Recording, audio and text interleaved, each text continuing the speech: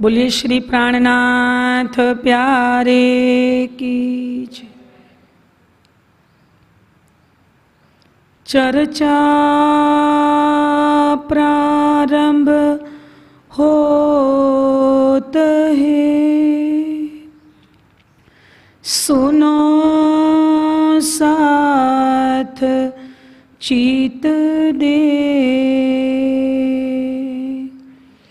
भजो राज श्यामा श्री प्राणनाथ सखी जीवन हमारा ए सखी जीवन हमारा ए। श्री महामती कहे, ए मोमिनो भया चर्चा का बखर अब तुम सुनियो चित दे। लाल आगे आए बैठे इन तखत। लाल आगे आए बैठे इन तखत। बोले श्री प्राणनाथ प्यारे। महामती कहे, ए मोमिनो ये मंद सुर की बितक, अब यहाँ से आगे चले, सो कहो हुक्म हक, सो कहो हुक्म हक. यहाँ से आए सीता मऊ धामधनी। अक्षरातीत। ये बीतक साहब के घटनाक्रम का वर्णन करवा रहे हैं। कल के घटनाक्रमों को जोड़ते हुए कल हमने उदयपुर प्रसंग को देखा।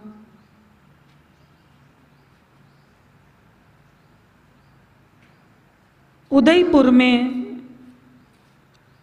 उदयपुर नगर के अंदर की कई लीलाओं को देखा और ताल पर, और ताल से फिर उदयपुर नगर में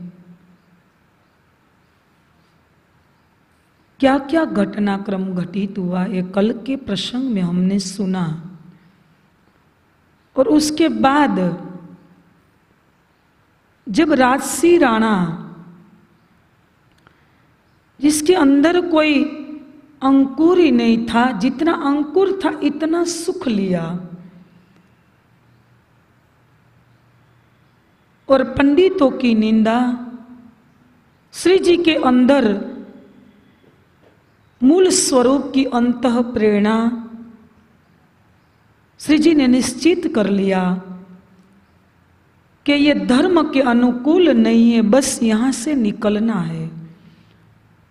और वहाँ के सुंदर साथ को महासिंह और आदि और अन्य सुंदर साथ को सिरो पाँव पहनाया, सिर से लेकर चरण तक के वस्त्र आभूषणों से सुसज्जित किया।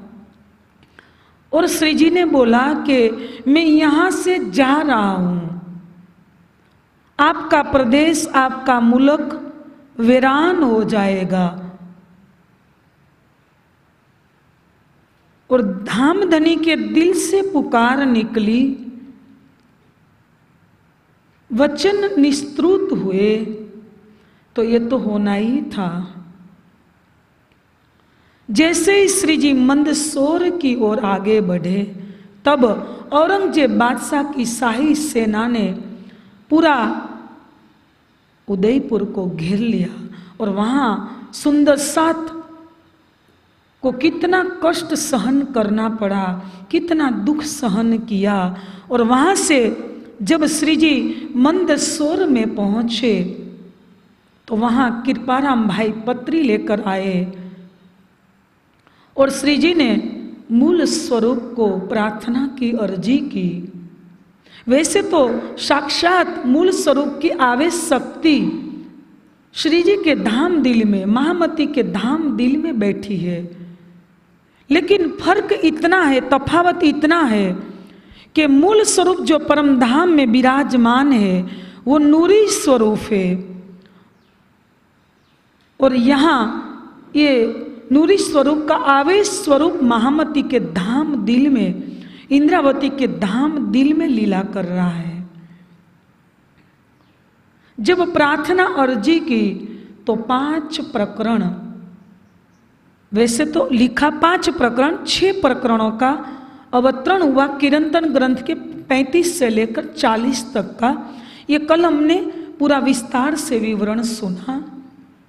वालो वृह रस भीनो रंग वृह मरमाड़ तो।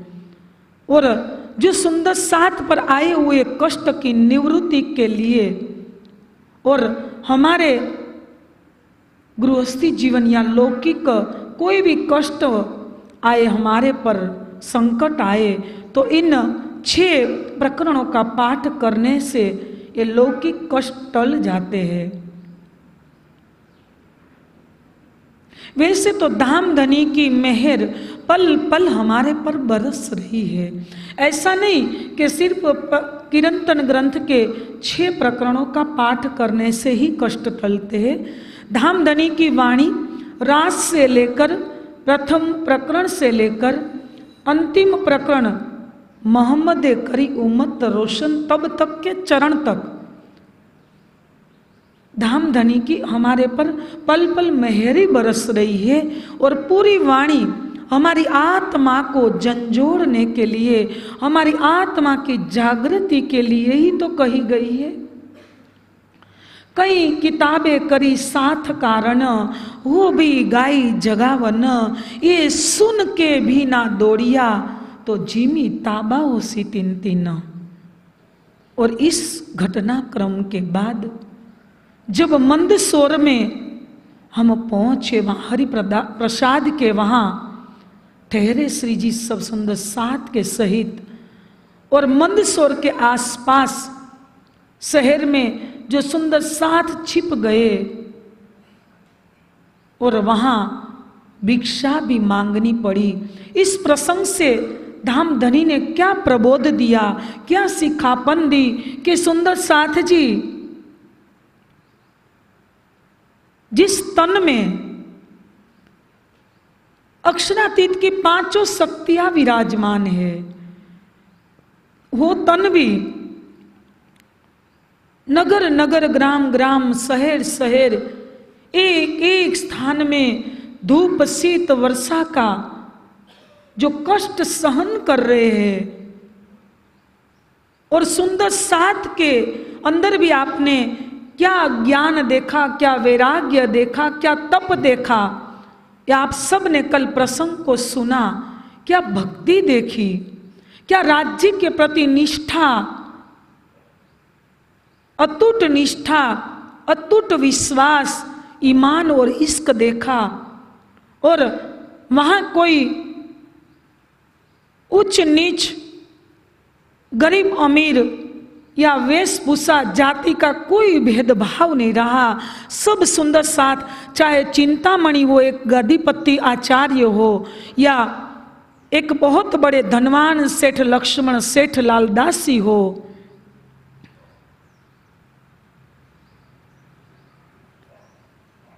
या जो जो सुंदर साथ का आपने कल नाम सुना, सबने फकीरी सफ़ेद वस्त्र धारण कर लिए। विरक्त वेश धारण किए। और किसी के अंदर ऊंच नीच के कोई भेदभाव ही नहीं रहे। सबने भिक्षा मांगकर जो एक साथ एकत्रित की और बैजूराज जी का भी अपने कल प्रेम देखा। कितना आत्मिक प्रेम सब सुंदर साथ के प्रति। कितना स्नेह। परमधाम की वाहिदत एक दिली का और सब सुंदर सात को कैसे समान रूप से भोजन परोसती थी। और महिला भी साथ में सेवा में रहती थी। और उसी समय एक किरंतन भी वहाँ उतरा। के कारी कामरी रे, मोको प्यारी लागी तू, सब सिनगार को शोभा देवे, मेरा दिल बांधिया तुझ सो, कारी कामरी रे। कामरी पेरी व्रजवधु और सुंदर वर श्याम, भी पेरी मोहम्मद ने। और पेरी इमाम कारी कामरी रे। गोवर्धन को ढापिया, एक बूंद न हुआ दखल। आग पानी लोहा जरे। सब सोस लिया जल, कारी कामरी रे मोको प्यारी लागी तू। हमारे अंदर सब गुण आ जाए। धैर्य, कुर्बानी, समर्पण, त्याग, तप, जो भी प्रेम नहीं, सब गुण आ जाए, लेकिन प्रेम सबसे परे कहा गया। प्रेम को ध्वजा कहा गया। प्रेम को सिर मोर कहा गया। जब तक अंतिम हमारे अंदर प्रेम नहीं आता, तब तक सब चीज़ें अधूरी है। उसकी कोई इतनी गरिमा नहीं बनी रहती। और प्रेम का जो सागर है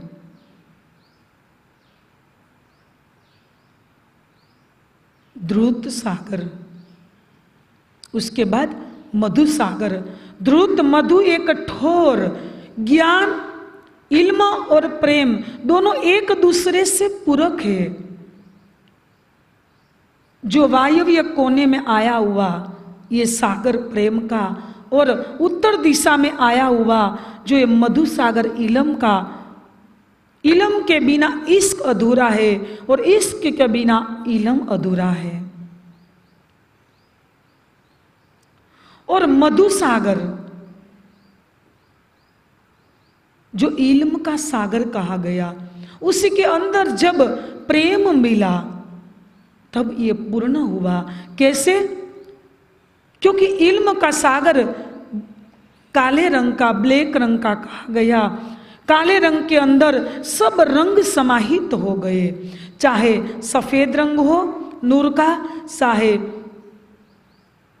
दक्षिण दिशा का, नीर का लाल रंग हो, चाहे नैरुत्य कोने का पीला रंग हो, क्षीर का या दक्षिण दिशा का, ध्रुत का लीला, नीला रंग हो, हरे रंग हो या आसमानी रंग प्रेम का, वायव्य कोने का हो, ये सब या निस्बत का दस रंग हो, या सर्वरस सब रंग, उसमें मिल गए एक भी रंग अलग नहीं रहा, सब रंग इलम के सागर में मिल गए।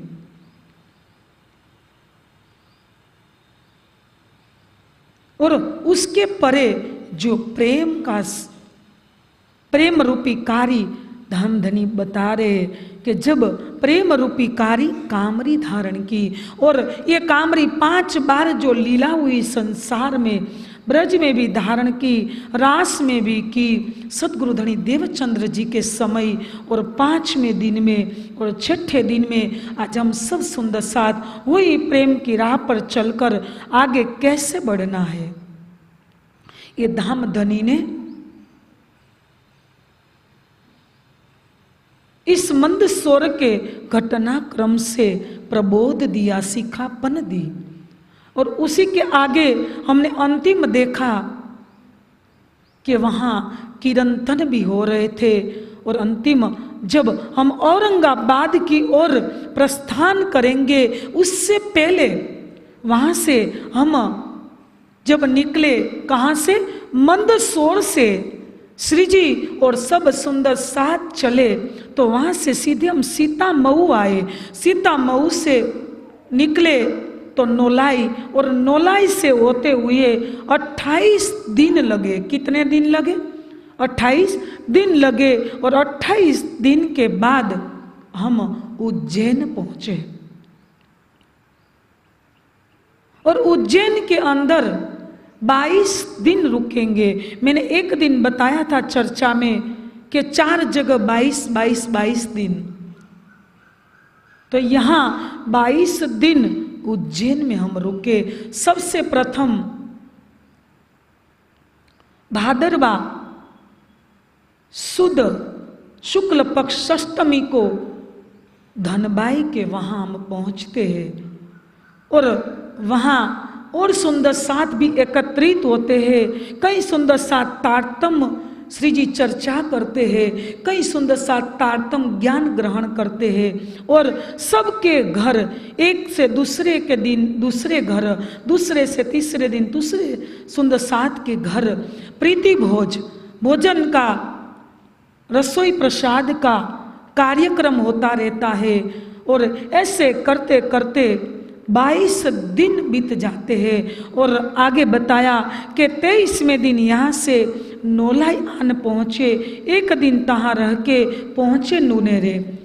जब 22 दिन के बाद तेईसवें दिन नूनेरे पहुँचे, वहाँ एक दिन रुक के फिर तहाँ एक दिन रह के पहुँचे बुढ़ानपुर। वहाँ से हम बुढ़ानपुर पहुँचे और वहाँ से आए औरंगाबाद। भावसी के घर तहाँ की बीतक कहो, जिन बात इन पर। वहाँ से हम बुढ़ानपुर से, बुढ़ानपुर की बीतक आगे होगी।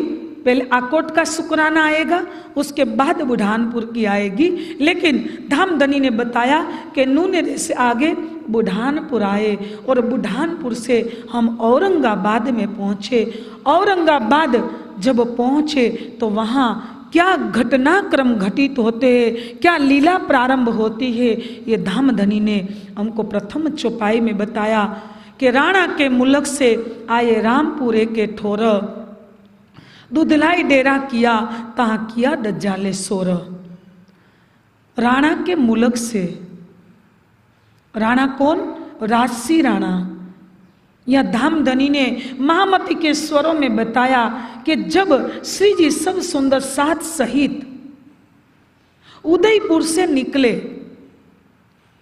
वहाँ से जब रामपुरा ग्राम ग्राम के पास दुधलाई में पहुँचे तो क्या घटनाक्रम घटित हुए? तो बताया कि राजा के भाई बेरी साल ने सुंदर साथ सहित श्री जी को सहित लूटने का, इन वैरागियों को लूटने का प्रयास किया, लेकिन पल पल धाम धनी की मेहर हमारे पर बरस रही है। सुंदर साची, इस संसार के जीवों की दृष्टि तो सुपने की है। उसी के अंदर बल भी सुपने का है। तो संसार के जीव तो सपना के संसार के जीव ब्रह्मात्माओं का क्या बिगाड़ेगा? इतना नहीं, क्या बाल बांका कर सकेंगे? यहाँ बेरी साल आया, लेकिन उसका बस नहीं चला। उसका प्रयास असफल रहा। वहाँ सिर नीचा करके, लज्जित होके वो चला गया। ये धामधनी ने औरंगाबाद के प्रसंग में पहुँचने से पहले ये प्रसंग को जोड़ते हुए हमको बताया। और ये क्यों बताया? ये आगे की चौपाई में स्पष्ट कर दिया।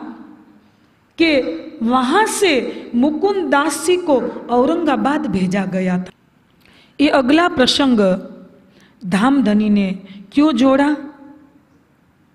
कि उसी समय वहाँ से ही मुकुंद दास जी को औरंगाबाद भेज दिया था। उसी के साथ और तीन सुंदर साथ। वल्लभदास, केशवदास और खीमाई भाई चारों औरंगाबाद गए। और वहाँ जाके मुकुंद दासी ने वेरा की वेश धारण कर लिए, क्योंकि श्री जी का आदेश था कि वहाँ भाव से हाड़ा परमात्मा की ओर जग रहा है उसके अंदर अंकुर है? क्या परमात्मा की ओर वो पूरा माया में तो डूबा नहीं हुआ है ने? जाओ, वहाँ जाके देखो। तो यहाँ मुकुंदासी ने विचार किया कि मेरे को वैराग्य वेश धारण करके ही संदेश देना योग्य है। तो उसने कई महीनों तक वैरागी वेश धारण करके भाव सिहाड़ा को मिलने का प्रयास किया। इतना नहीं, तातम ज्ञान के प्रकाश में वेदांत का भी गहन रहस्य समझने का प्रयास किया, कई मेहनत की। और जो केशव दास और वल्लभ दास थे, वो एक दुकान पर रहे और मुकुंद दासी और खिमाई बाई भी उसके साथ रहे। और मुकुंद दासी जो श्री जी ने आदेश किया था, वो संदेश को पहुँचाने के लिए अपने काम में लग गए। कहा कि चलो, भावसी हाड़ा को कोई पण स्थिति में ये संदेश पहुँचा के ही रहना है। तो उसने संदेश पहुँचाने के लिए बहुत से प्रयास किए, लेकिन असफल रहे। फिर निराश होकर जब वापस लौटने का विचार किया तो अंदर से और एक विचार आया। अंतर आत्मा से एक पुकार उठी। क्या पुकार उठी? कि अरे, मैंने अगले घटनाक्रम में सुना। ध्यान से सुंदर साची कौन सोच रहे मुकुंद दासी, कि मैंने अगला घटनाक्रम दिल्ली का सुना। कि दिल्ली में हमारे बारह मोमिन कैसे औरंगज़ेब बादशाह के दरबार में गए? सिर कटवाने के लिए भी तैयार हो गए। क्या कुर्बानी की इस धर्म युद्ध करते करते?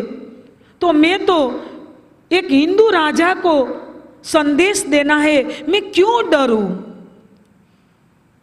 और श्री जी के सामने मैं क्या जवाब दूँगा? कैसे सिर ऊँचा करके ये मैं बात रखूँगा? नहीं, मेरे को तो बस वहाँ संदेश दे के ही रहना है। ऐसा दृढ़ संकल्प कर लिया। और उसने संदेश देने के लिए अपने पास कोई सामग्री या पैसे भी नहीं थे। उसने भिक्षा मांगी औरंगाबाद में। भिक्षा में जो दो रुपया मिला, सुंदर सा जी, एक एक प्रसंग को आप ध्यान से सुनिए कि मुकुंदासी इससे पहले गोवर्धन भाई को भेजा लालदासी को, बारह मोमिन को। ईमान इश्क की तो परीक्षा हो ही रही है, लेकिन जागनी कार्य के लिए कैसे कैसे धामधनी प्रेरित कर रहे हैं? आप एक एक प्रसंग को सुनिए। वो कर्तव्य हमारा भी बनता है, वो फ़र्ज़ हमारी भी बनती है कि राज्य कोई पण सुंदर साथ के माध्यम से या सदगुरु के माध्यम से जो भी प्रेरणा करे, जो भी आदेश, जो भी हुक्म करे तो बस इसी राह पर बस तत्काल कोई भी तर्क नहीं करना है, कोई प्रश्न आगे नहीं पूछना है, बस निकल जाना है। देखो मुकुंद दासी कैसे श्री जी का आदेश सिरोधार्य करके हमारे एक एक सुंदर सात का प्रसंग आज आप तेईस दिन से सुनते आ रहे हो, आज चौबीसवा दिन है। कोई प्रसंग मैंने ऐसा नहीं बताया कि ये 400 साल पहले का है। हर प्रसंग में हमारी आत्मा को ही प्रेरणा दी है। हर प्रसंग में हमारे जीव को ही प्रबोध दिया है। हर प्रसंग में कैसे इस परम धाम की राह पर चलकर ये धर्म युद्ध करके आत्माओं को जगाने के लिए क्या क्या संसार में संदेश देना है? ये आज मुकुंद दासी के प्रसंग से प्रसंग के माध्यम से आज सबको ये प्रसंग को ध्यान से सुनना है। मुकुंद दासी उसी समय दो रुपया की कीमत आज कितनी होगी? दो लाख की बराबर होगी। 400 साल पहले की ये बात है। आज उसकी बराबरी करो तो दो लाख रुपया होगी। उसने शहर में भिक्षा मांगी, दो रुपया एकत्रित किया। उससे रेशमी कपड़ा खरीदा और उसकी थैली बनवाई। आज वो प्रसंग से ये बोध लेना है कि एक एक पैसे का क्या मूल्य है? बच्चों, ध्यान से सुनिए। देखो, सुंदर साथ की जो सेवा आती है, ठीक है? सिर्फ़ ये ज्ञानपीठ के लिए नहीं मैं कह रही हूँ। आज जितने भी हमारे धर्म प्रचार के संस्था चल रही है, जितनी भी धर्म प्रचार की, प्रचार प्रसार की संस्था चल रही है, वहाँ समाज से जो सेवा आ रही है सुंदर साथ किया और अन्य कोई लोगों की तो इस सेवा को किस भाव में समझना है? किस राह पर उसका इस्तेमाल करना है? इतना नहीं। और हम भी आने वाले समय में, जागनी प्रचार में इस पैसे का कैसे इस्तेमाल करना है? कैसे उपयोग करना है? किस राह पर कोई हमारा व्यक्तिगत खर्च के लिए हमारा कोई अधिकार नहीं है समाज के पैसे का? और कितनी सादगी में रह के प्रचार प्रसार के काम में लगाना है। देखो ये दो रुपयों की कीमत कि, कि, किसने समझी?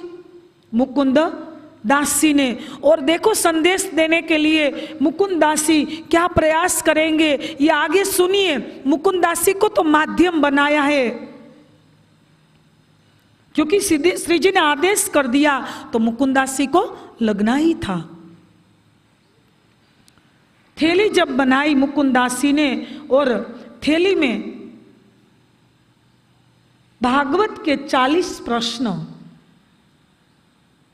और वेदांत के पंद्रह प्रश्न। कल भी हमने सुना था ने राशि राणा के पंडितों को जब पूछा गया, कल हमने भागवत और वेदांत के प्रश्न भी रखे थे यहाँ चर्चा के माध्यम से। और आज हम अखंड जो गौलोक है, कृष्ण तत्व की जो लीला है, उसी को लेकर हम एकाध प्रश्न को समझेंगे कि भागवत के चालीस प्रश्न के अंदर जो अखंड महारास रात्रि का वर्णन किया गया है, वो रास की रात्रि, ये रास कहाँ खेला गया? वो रात्रि, अभी अखंड है तो कहाँ पर है? और फिर यहाँ प्रभात हुई तो ये प्रभात किस ब्रह्मांड में हुई? और जो श्री कृष्ण जी और गोपिया उठी तो किस ब्रह्मांड में उठी? धामधनी ने वाणी के माध्यम से बताया कि यहाँ रास रात्रि अखंड कही सो टाली ना टले। फिर यहाँ उठे रे प्रभाते। श्री कृष्ण जी और गोपिया अपने घर में उठी। वो ब्रह्मांड कहाँ पर है? तो ये संसार के जीवों को नहीं पता है कि ब्रह्मांड कहाँ पर है। ये श्री कृष्ण जी के भेद कौन कौन से है? तो हम आगे देखें। ये रात्रि का कल मैंने वर्णन किया था। लेकिन इस ब्रह्मांड में जो गोपिकाएँ उठी, वो कौन सी गोपिका है? ये हम आगे ज़्यादा स्पष्टीकरण करें। ये रात्रि योग माया ब्रह्मांड में केवल ब्रह्म बुद्धि के स्वरूप, वहाँ रास खेली गई और व्रज की लीला ऐसा ही काल माया का ब्रह्मांड था। वहाँ बारह हज़ार ब्रह्मात्माएँ और चौबीस हज़ार कुमारी का सखिया के साथ ये लीला हुई। फिर काल माया का, ब्रह्मांड का पतन हो गया और वहाँ श्री कृष्ण जी ने बांसुरी का नाद किया योग माया ब्रह्मांड में। ये सब सखिया जब यहाँ से अखंड योग माया केवल ब्रह्म में पहुँची, वहाँ जो रात्रि कही गई, वो अखंड है अभी। वो नूरी रात्रि, रास की रात्रि अभी टली नहीं मतलब अखंड है। वो रात्रि का कोई नाश नहीं हुआ है, कोई प्रलय नहीं हुआ है। लेकिन यहाँ क्या बताया कि एक की ओर वहाँ जब रास खेली गई, फिर परम धाम की जो आत्माएँ थी, वो परम धाम वापस लौटी। हम सब ब्रह्मात्माएँ मूल तन में जागृत हुई और ईश्वरी सृष्टिया भी चौबीस हज़ार कुमारी का थी, वो भी चली गई।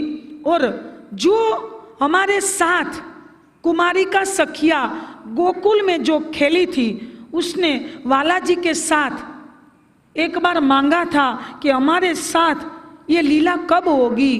तब वाला जी ने बोला था कि समय पर मैं आपके साथ भी लीला करूँगा। लेकिन ये जो ब्रह्मांड तीसरा नया उत्पन्न हुआ, प्रतिबिंब का, वहाँ अक्षरातीत की आवेश शक्ति नहीं आई, अक्षर की आत्मा भी नहीं आई, रास बिहारी। श्री कृष्ण जी की गौलों की शक्ति आई और जो हमारे साथ कुमारी का सखियाओं ने जो एक वचन मांगा था और वाला जी ने वादा पूरा करने के लिए बोला था तो ये कुमारिका के जीव चौबीस हज़ार, ये नया जो ब्रह्मांड यहाँ का गोकुल मथुरा का बना, वहाँ ये चौबीस हज़ार कुमारिका के जीव आया और कुमारिका सखिया जो वेद रुचाए कही तो ये वेद की रुचाओं ने जो बारह हज़ार स्वरूप धारण किया और छत्तीस हज़ार का, चौबीस हज़ार कुमारिकाओं के जीव और बारह हज़ार वेद रुचाओं के, वेद रुचाओं ने जो तन धारण किया, ये छत्तीस हज़ार का मेला यहाँ के प्रतिबिंब के ब्रह्मांड में हुआ। तो यहाँ जब सुबह को उठी और एक की ओर भागवत में बताया कि वो रात तो अखंड है तो रात कहाँ अखंड है? रास कहाँ अखंड है? ये भागवत के पढ़ने वाले लोग नहीं बता पाते। तो उसको मानने वाले अनुयायी और संसार के जीव को कैसे पता चलता कि वो एक की ओर अखंड हो गए? ब्रह्मात्मा और ईश्वरी सृष्टि अपने अपने तन में जागृत हो गई और सुबह को उठी, वो भी कौन है? जैसे ब्रह्मा यरा वाछरू गोवाला संगाते तो ये भेद तारतम वाणी ने खोला। ये भेद तारतम वाणी ने खोला। तो यहाँ धामधनी क्या बता रहे कि जब भागवत के चालीस प्रश्न और वेदांत के पंद्रह प्रश्न ये जब लिख के थैली में डाले, उसी के अंदर ऐसे कई प्रश्न गुह्य थे। लेकिन आगे हम देखेंगे, ये पंडित लोग जवाब नहीं दे पाएँगे। कौन? ये भावसियाड़ा के पंडित लोग जब ये थैली तैयार हो गई फिर देने का विचार किया किसने मुकुंद दास जी ने एक दिन नगर में वो घूम रहे थे तो भावसी हाड़ा का एक मुख्य पंडित था प्रमुख पंडित था रामदास महंत वो उसने देख लिया किसको मुकुंद दास को। तो उसको पता चला कि वो भाव भावसी आड़ा को भी भटका देंगे और अपना बना लेंगे। तो उसने क्या किया? मुकुंद दासी को मार मार कर औरंगाबाद के नाला से पार कर दिया। और इतना नहीं, उसने ये भी चेतावनी दी। क्या चेतावनी दी? कि तुम हमारे नगर से बाहर चले जाओ। तुम भाव सियाड़ा को भटकाने का प्रयास मत करो। देखो ये पंडितों की विचार। मैंने कल भी बोला था ने कि भृगु के वंशज है, जिसने विष्णु भगवान की छाती में लात मारी थी। वैसे विष्णु भगवान की छाती में लात भृगु ने कोई जानबूझकर नहीं मारी थी, लेकिन तीनों देवों की योग्यता चेक करने मतलब उसको जानने के लिए उसको कहा गया था। इसलिए भृगु ऋषि ने विष्णु भगवान की छाती में लात मारी थी। तो उसी के वंशज ये पंडित लोग हैं। तो इसी में एक जो रामदास महंत ने चेतावनी दी कि तुम क्या करो? इस नगर से बाहर निकल जाओ नहीं तो मैं तुम्हारी दोबारा भी पिटाई करूँगा। तो ये बात सुनकर मुकुंदासी सावधान हो गए। क्या हुए? मुकुंदासी सावधान हो गए कि मेरे को सावधानी से काम लेना है, क्योंकि ये संदेश तो दे के ही रहना है। किसको? भावसी हड़ा को। तो यहाँ ये संदेश देने के लिए जब थैली में वेदांत के पंद्रह प्रश्न और भागवत के चालीस प्रश्न लेकर उसको पता चला कि भावसी आड़ा हिंदू है तो ये देवी के मंदिर में ही प्रणाम करने के लिए जाए। मुस्लिम की मस्जिद में नहीं जाएँगे। तो चलो, देवी के मंदिर में वो रोज प्रणाम करने के लिए आते हैं तो मैं ऐसा करूँ, वहाँ ही छिप जाऊँ। कहाँ? मंदिर के अंदर ही। तो ऐसा विचार करके वो थैली लेके मंदिर के अंदर गए और मंदिर के पीछे की दीवार में छिप गए। और जैसे ही भावसी हाड़ा मंदिर में प्रणाम करने के लिए आए तो वहाँ छिप, जब छिपे हुए थे, वहाँ से आगे आके सीधे ही भाव सिहाड़ा के हाथ में थैली दे दी। देखो, कैसे प्रयास किया। अगला घटनाक्रम हमने सुना, फिर हम ये बातों को जोड़े। अगला घटनाक्रम सुना तो औरंगज़ेब बादशाह को संदेश देने के लिए अलग अलग तरीके से कैसे कैसे प्रयास किया गया है। फिर यहाँ हिंदू राजा को, देवी के मंदिर के अंदर मुकुंद दासी को कैसे प्रयास करना पड़ रहा है? तो सुंदर साथ जी, धामधनी ने बताया कि जैसा बाजा बजे, वैसा ही नीरत करना है। मतलब जैसी परिस्थिति है, जैसी स्थिति उसके अनुकूल ही संदेश देने के लिए आपको भी कई कष्ट सहन करना पड़ेगा।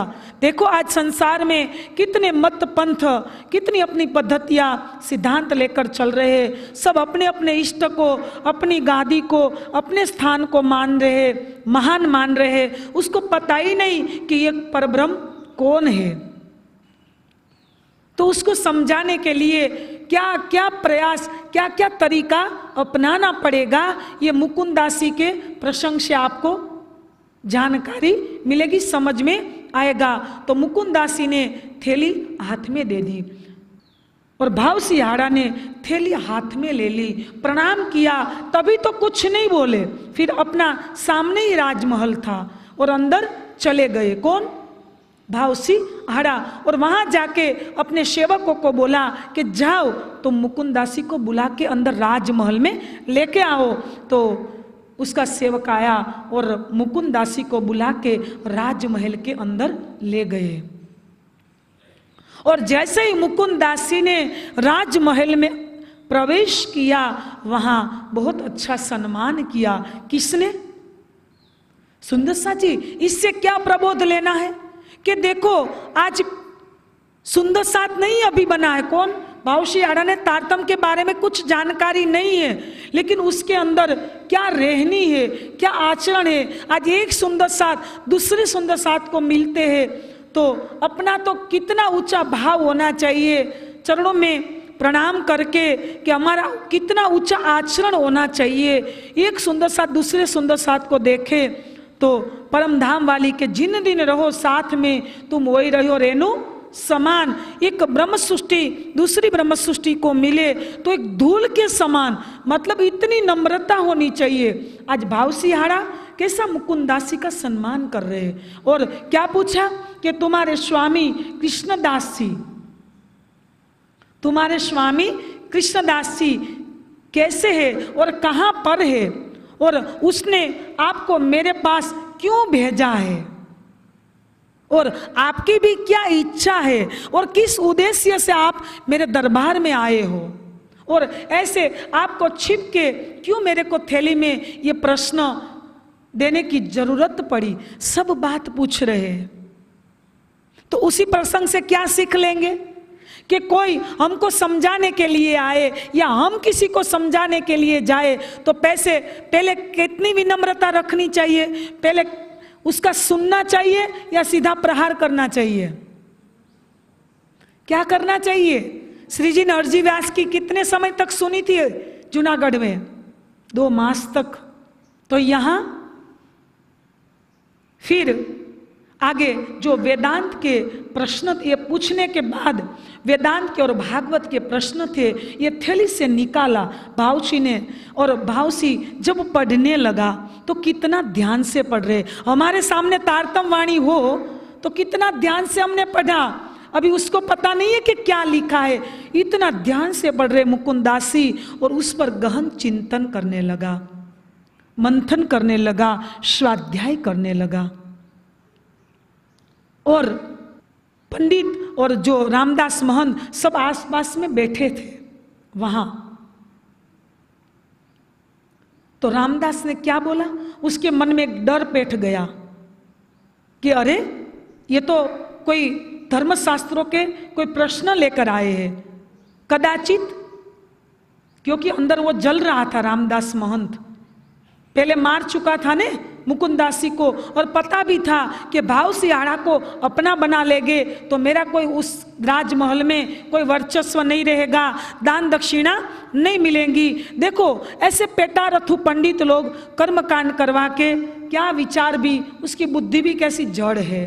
कोई आगे की सोच भी नहीं है। तो वहाँ बैठा था और रामदास महंत के अंदर जलन हो रहा था और सीधे ही भाव सिहाड़ा को क्या बोले? कि अरे तुम ये प्रश्न पढ़ रहे हो ने? देखो, हमारे हिंदू समाज में कितने धर्मशास्त्र है? कोई धर्मशास्त्र में कृष्ण जी के दो स्वरूप नहीं बताए हैं। मतलब परम तत्व परमात्मा तो एक है पार ब्रह्म तो पूर्ण एक है। ये तो अनेक परमेश्वर के हावे ऐसा किसने बोला? रामदास महंत ने बोला कि ये तो परमात्मा का दो स्वरूप बता रहे हैं। तब पाउसी हाड़ा ने क्या जवाब दिया? आगे सुनिए।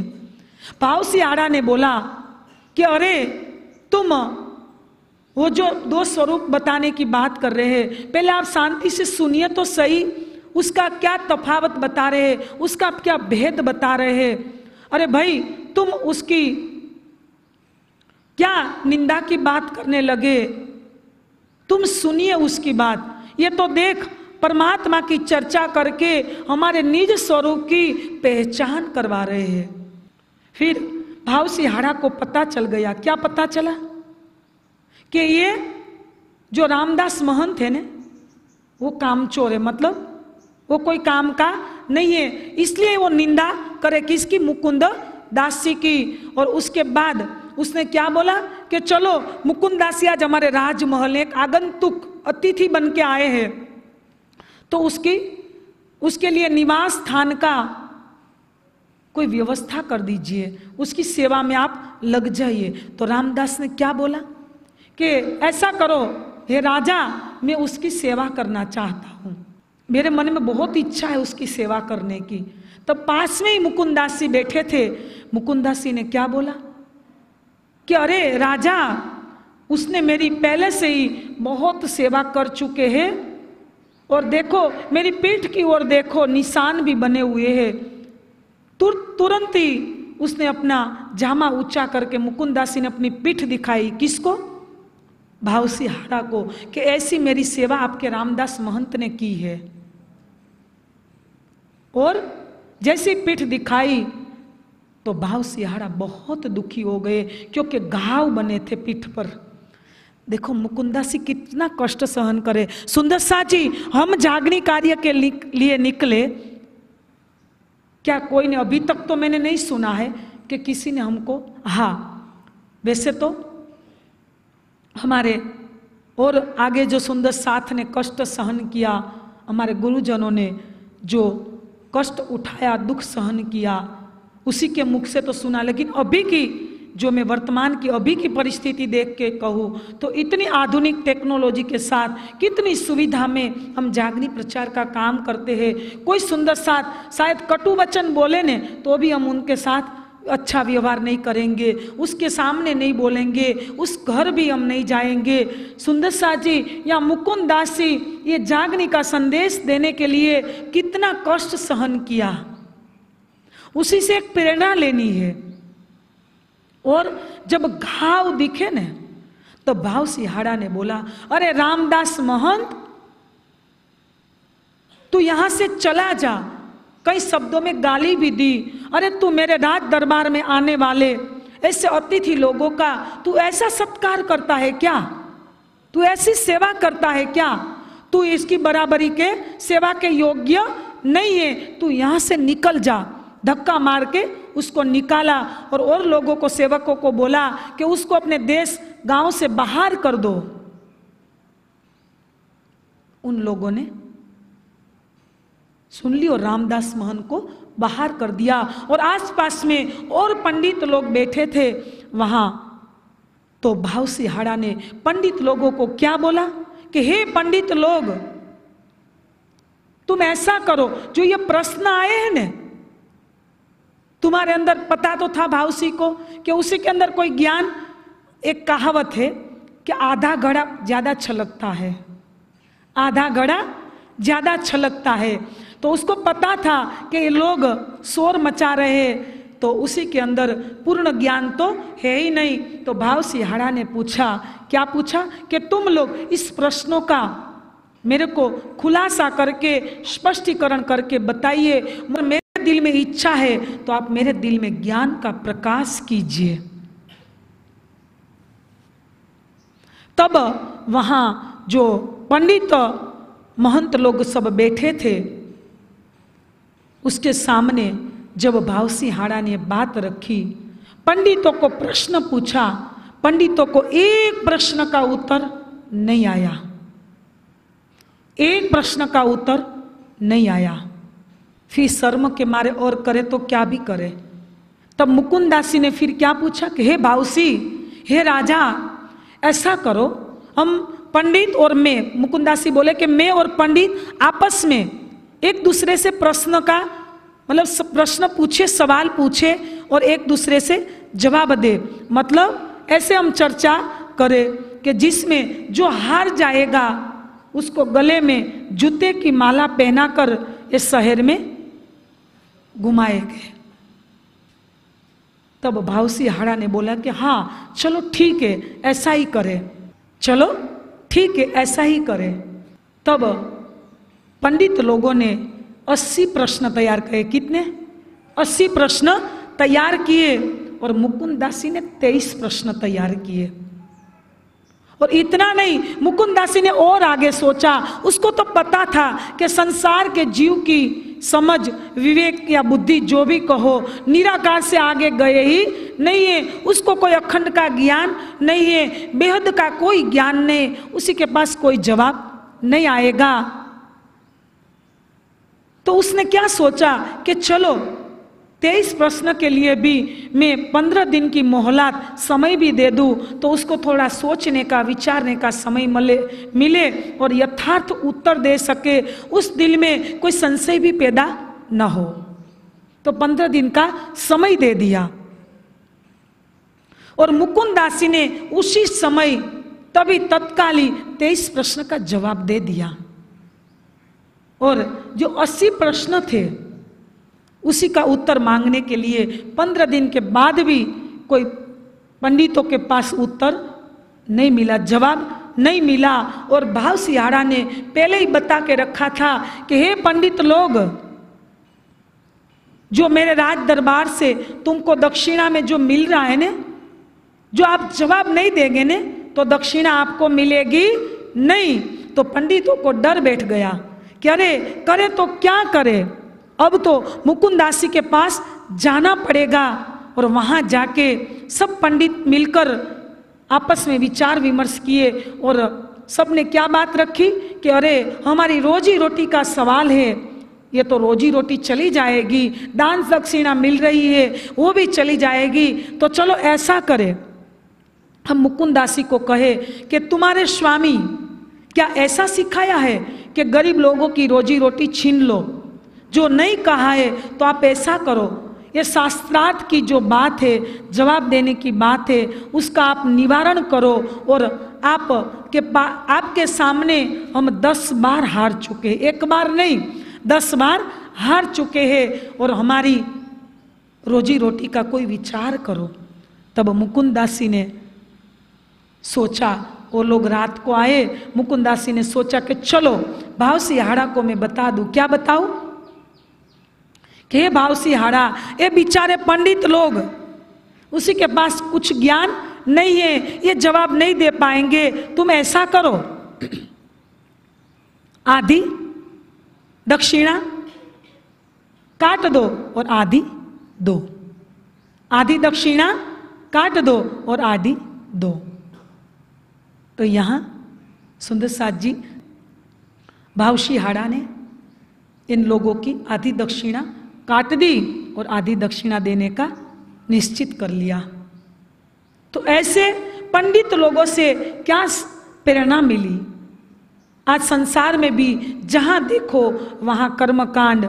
आज कोई ऐसी तांत्रिक कर्मकांड भी चल रहे हैं और इतना नहीं, कोई तंत्र, मंत्र, कोई जाप, कोई चमत्कार कितने में लोग पड़े हैं और जड़ मूर्तियों की पूजा और ज्ञान का कहीं फैलाव नहीं। और आज इतने मंदिर, मस्जिद या गिरजाघर, आज कितने बड़े बड़े हिंदू के भी कितने धर्म स्थान हैं, चारों दिशाओं के बड़े बड़े स्थान, चार धाम, इससे भी और भी बड़े बड़े कई मंदिर बने। लेकिन कहीं भी ज्ञान का प्रचार प्रसार नहीं है। वहाँ भी रामदास महंत जैसे पूजे पंडे पुजारी लोग जो बैठे हैं, वहाँ कोई भी एक ज्ञानी या विद्वान नहीं है कि चलो, वहाँ सोमनाथ का, शिव का मंदिर है तो उसके बारे में कोई इतिहास, हिस्ट्री बता बता सके कि पहले तो मोहम्मद गजनवी ने सत्तर बार ये मंदिर को लूटा था, लेकिन अभी भी हमारे हिंदू समाज की अंधी पब्लिक, जो कर्म कांडों में फंसी हुई पब्लिक, संसार के जीव अभी भी चढ़ावा चढ़ा रहे हैं। और क्या मान लिया है? यही बस हमारी भक्ति है। इससे हमको मुक्ति मिल जाएगी। कोई नहाने से अपनी को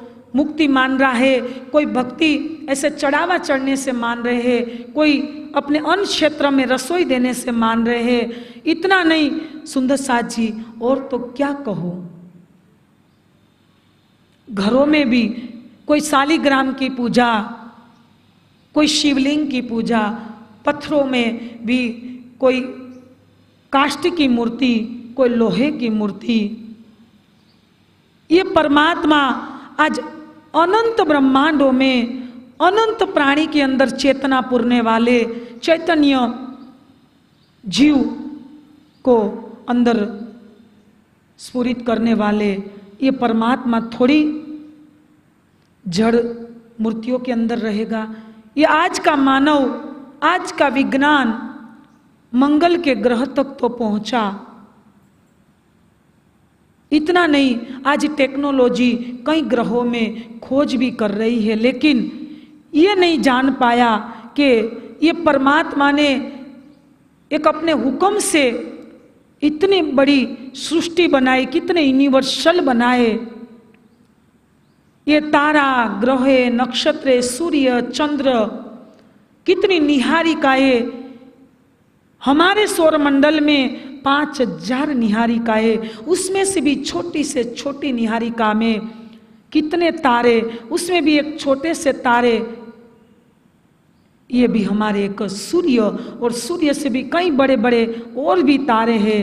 वैसे तो एक निहारिका, ऐसी तो कई अनंत निहारिकाएँ हैं। तो ये निहारिका ये सूर्य चंद्र को, ऐसे अनंत सृष्टि को पैदा करने वाले परमात्मा जो जड़ मूर्ति में रहेगा तो इस सृष्टि को फिर कौन बनाएगा? इस सृष्टि का पालन, पोषण, या सहार कौन करेगा? ये आज का मानव इतना विवेक नहीं जगा रहे हैं। तो यहाँ ये रामदास महंत पंडित के माध्यम से हमको ये सुनने को मिला। ये प्रबोध मिला और आगे जब भावसी हाड़ा,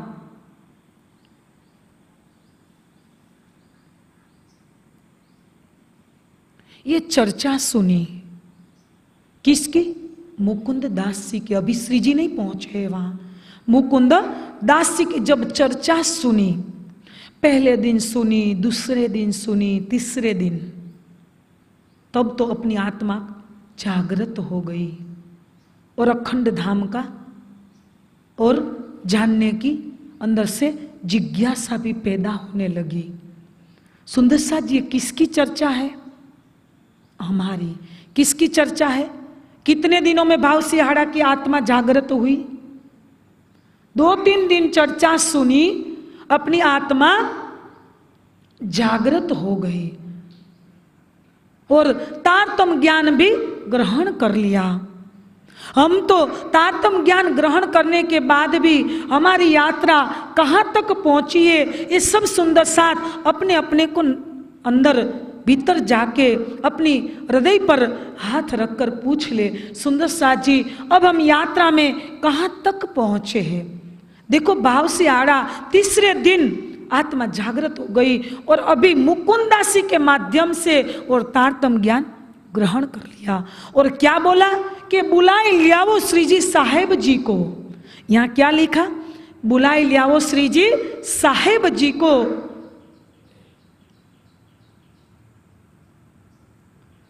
श्री जी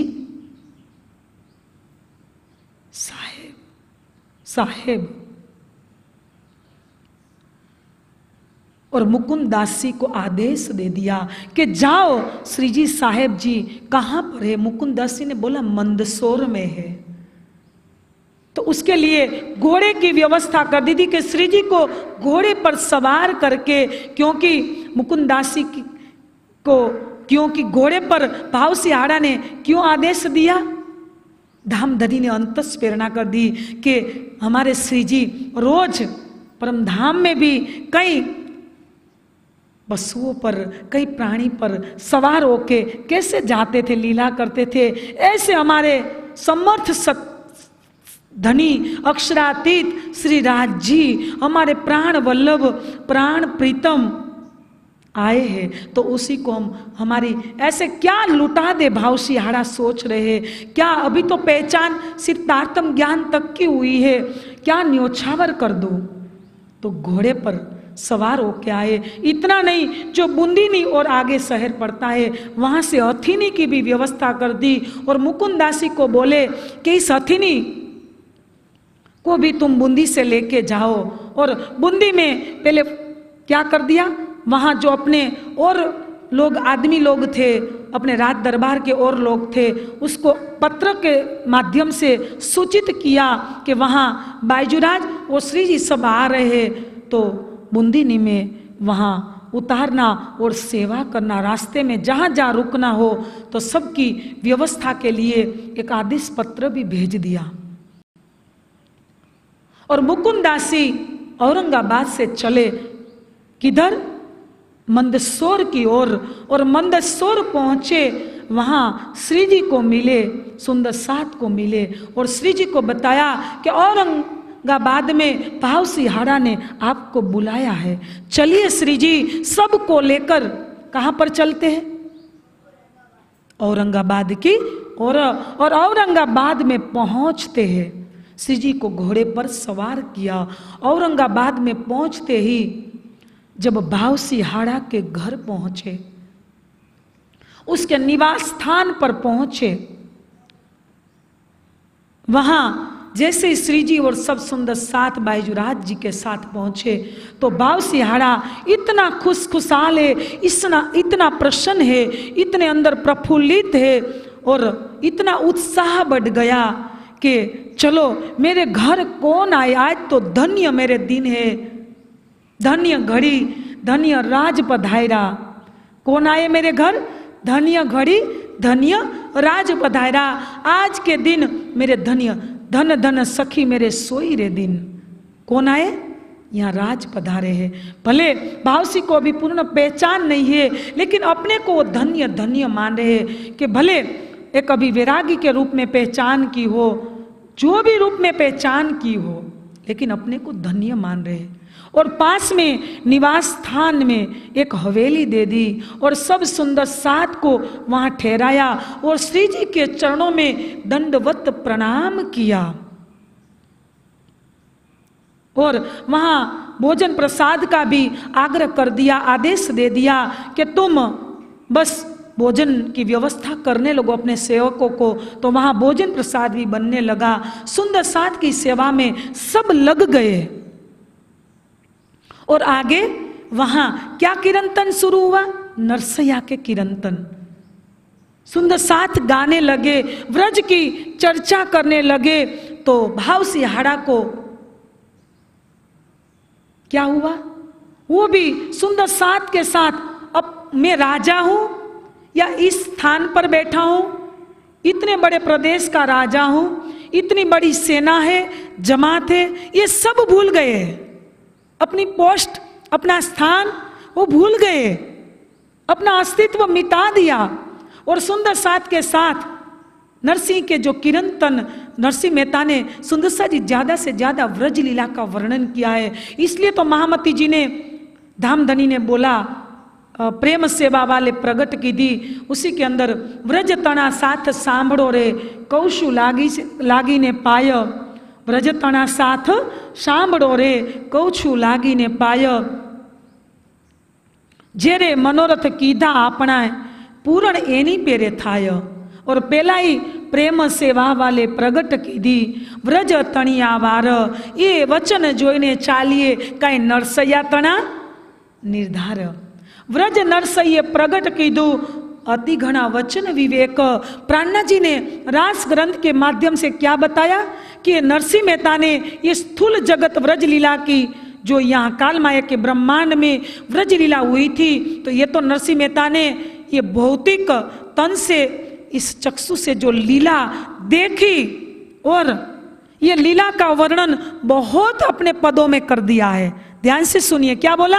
अपने पदों में व्रजलीला का वर्णन तो विस्तार से कर दिया है। तो प्राणना जी, महामती ने लिखा कि मेरे को व्रजलीला का वर्णन करने की बहुत ज़रूरत नहीं है। चलो रास से ही प्रारंभ करें।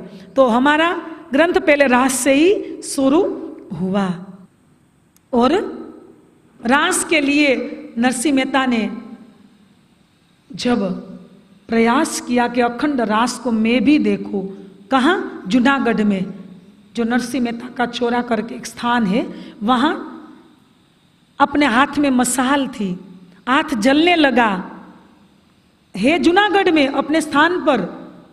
और रासलीला का दृश्य देखने के लिए तो गए, लेकिन प्राणनाथ जी ने वाणी में बताया कि आडा दरवाज़ा, चार चार दरवाज़ा, मन बुद्धि, चित्त, अहंकार, इससे आगे और क्या है? अखंड योग माया ब्रह्मांड। हाँ प्रतिबिंब की थोड़ी टाढ़क आई, थोड़ी सुगंधी आई, लेकिन असल रास को नरसिंह मेहता नहीं देख पाए। तो सुंदर साजी नरसिंह मेहता ने कोई कम बल नहीं किए। वल्लभाचार्य जी ने भी कोई कम बल नहीं किए। रसखान ने भी कोई कम बल नहीं किए। रहीम ने भी कोई कम बल नहीं किए। मीराबाई ने भी कोई कम बल नहीं किए। सबने बेहद की, अखंड की लीला जानने के लिए कितनी कितनी साधनाएँ की है। अपना अस्तित्व मिटा दिया। हम तो क्या बोलते? कि अरे, सुखदेव वर्णन कर रहे थे परीक्षित राजा को। तब जोश चला गया। फिर आगे का रास का वर्णन नहीं कर पाया। देखो, ये सुखदेव नहीं कर पाए। हम तो ये वर्णन कर रहे हैं। लेकिन सुंदर शाह जी, हम सुखदेव की जीव की बराबरी भी हमारे अंदर नहीं है। जो सुखदेव के अंदर कि जीव कैसे था? पूर्ण निर्विकार। सामने से स्त्री पसार हो, पास हुई या पुरुष, ये भी उनको शुद्धि नहीं रहती थी। मतलब उसकी दृष्टि भी संसार से हट चुकी थी। एक बार भागवत का एक प्रसंग है, जब वहाँ से कोई सखिया निकली तो किसी ने पूछा, सुखदेव को?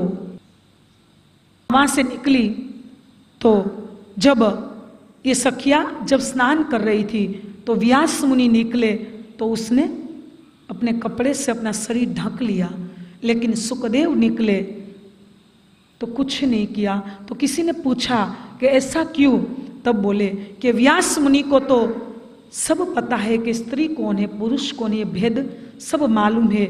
लेकिन सुखदेव को पता नहीं है कि स्त्री कौन है और पुरुष कौन है।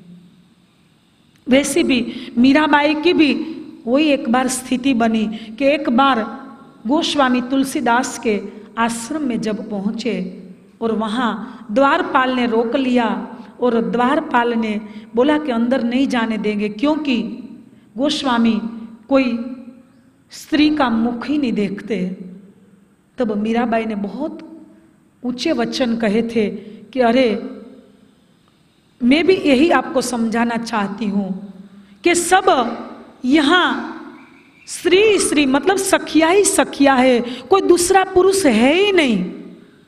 तो तुलसीदासी अपने वजूद को दूसरे रूप में, दूसरे पुरुष में क्यों मान रहे हैं? मतलब मैं भी यही कहना चाहती हूँ, मीराबाई बोली कि भाई, एक पार पुरुष, परम पुरुष परम तत्व पर ब्रह्म तो एक ही है। क्या कोई दूसरा पुरुष ही आश्रम में?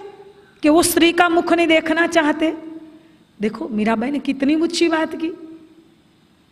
तो देखो, ये सब जो हंस मतलब बेहद में पहुँचने वाले, ऐसे महापुरुष, कहाँ तक की स्थिति प्राप्त की है? तो यहाँ नरसिंहा के किरण किरंतन। वैसे तो रास ग्रंथ में कई सी चौपाइया मैंने आपको भाव के द्वारा बता दी। और रास के भी किरंतन वहाँ शुरू हो गए और भाव सिहारा नाचने लगे। जब भाव सिहारा वहाँ नाचने लगे, सुधि ही नहीं रही। और उसी के बाद तब वहाँ भाव सिहारा को जब चर्चा शुरू की श्री जी ने चर्चा करते करते श्री जी एक दिन कुरान पर चर्चा शुरू कर दी। किस विषय पर? कुरान पर चर्चा शुरू कर दी। वैसे ब्रज की बात बताई, रास की भी बात बताई जागनी ब्रह्मांड की भी बात बताई और वेद और कतेब का एकीकरण करके भी बताया कि जो वेद में कहा है, सोई कतेब में कहा है। लेकिन आज जो संसार में झगड़ा चल रहा है और हिंदू और मुस्लिम का सब वेशभूषा, जाति और बोली का चल रहा है। जब भाव सिहाड़ा को यह बताया कि जो पुराण में कहा गया है, वो तो कुरान हदीसों में कहा गया है। वेदो कहिया आवसी, बुद्ध ईश्वरों का ईस, मेट कलजुग असुराय मुक्ति देसी जगदीश। और यहाँ जब कुरान पर चर्चा शुरू की, तब भाव सिहाड़ा ने क्या बोला कि भाई, कुरान पर आप चर्चा करते हो, क्योंकि वो हिंदू था ने तो उसने पूछा श्री जी को कि हे श्री जी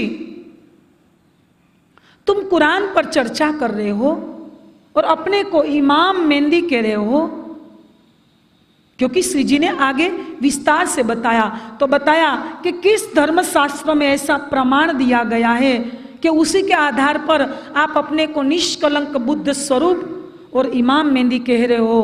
तब श्री जी ने जाके बताया कि माहेश्वर तंत्र खोल के देखो, पुराण संहिता खोल के देखो, बुद्ध गीता, बुद्ध स्तोत्र, अभी आगे आएगा भवानी भट्ट का। तो यहाँ हम देख ले कि भवानी भट्ट भी बुद्ध, गीता बुद्ध स्तोत्र में भी यही साक्षी बताई कि कलयुग के अंतिम चरण में जब निष्कलंक बुद्ध स्वरूप आएँगे तो पूरे संसार में ये जागृत बुद्धि फैलेगी। सब प्राणियों के अंदर सपना की बुद्धि के परे का जागृत बुद्धि आएगी और जागृत बुद्धि का ज्ञान का प्रचार, प्रसार यहाँ होगा। और सबके अंदर जो अज्ञान था, वो टल जाएगा। इतना नहीं, ये जागृत बुद्धि जैसे ही फैलेगी, जबराइल का जोश भी आएगा। और ये बुद्धि जब फैलेगी ने तो पूरे संसार में तारतम ज्ञान ये बुद्धि से फैलेगा तो पूरा संसार को अखंड मुक्ति मिलेगी। तो ये बुद्ध गीता, नारद जी ने ब्रह्मा जी को कही है। और बुद्ध स्तोत्र शिव जी ने उमा को कहा है। और यहाँ जब श्री जी ने भी प्रमाण दिया भावसी हाड़ा को कि हे भावसी, मेरे को धर्म ग्रंथों में निष्कलंक बुद्ध स्वरूप में कई भागवत, गीता गीता में उत्तम पुरुष करके बताया है, भागवत में सचिदानंद रूपाय विश्वपत्यादि। हेतवे तापत्र विनाशाय श्री कृष्णाय वयम नमः। सचिदानंद करके बताया है। वेदों में शुक्र और आदित्य वर्ण तमत्स परदात और काम धीरो अमृत स्वयंभू करके बताया है। और कतेब में जिसमें निष्कलंक बुद्ध स्वरूप की बात कही गई है। ऐसे कतेब में मेरे को इमाम मेहंदी के स्वरूप में बताया है।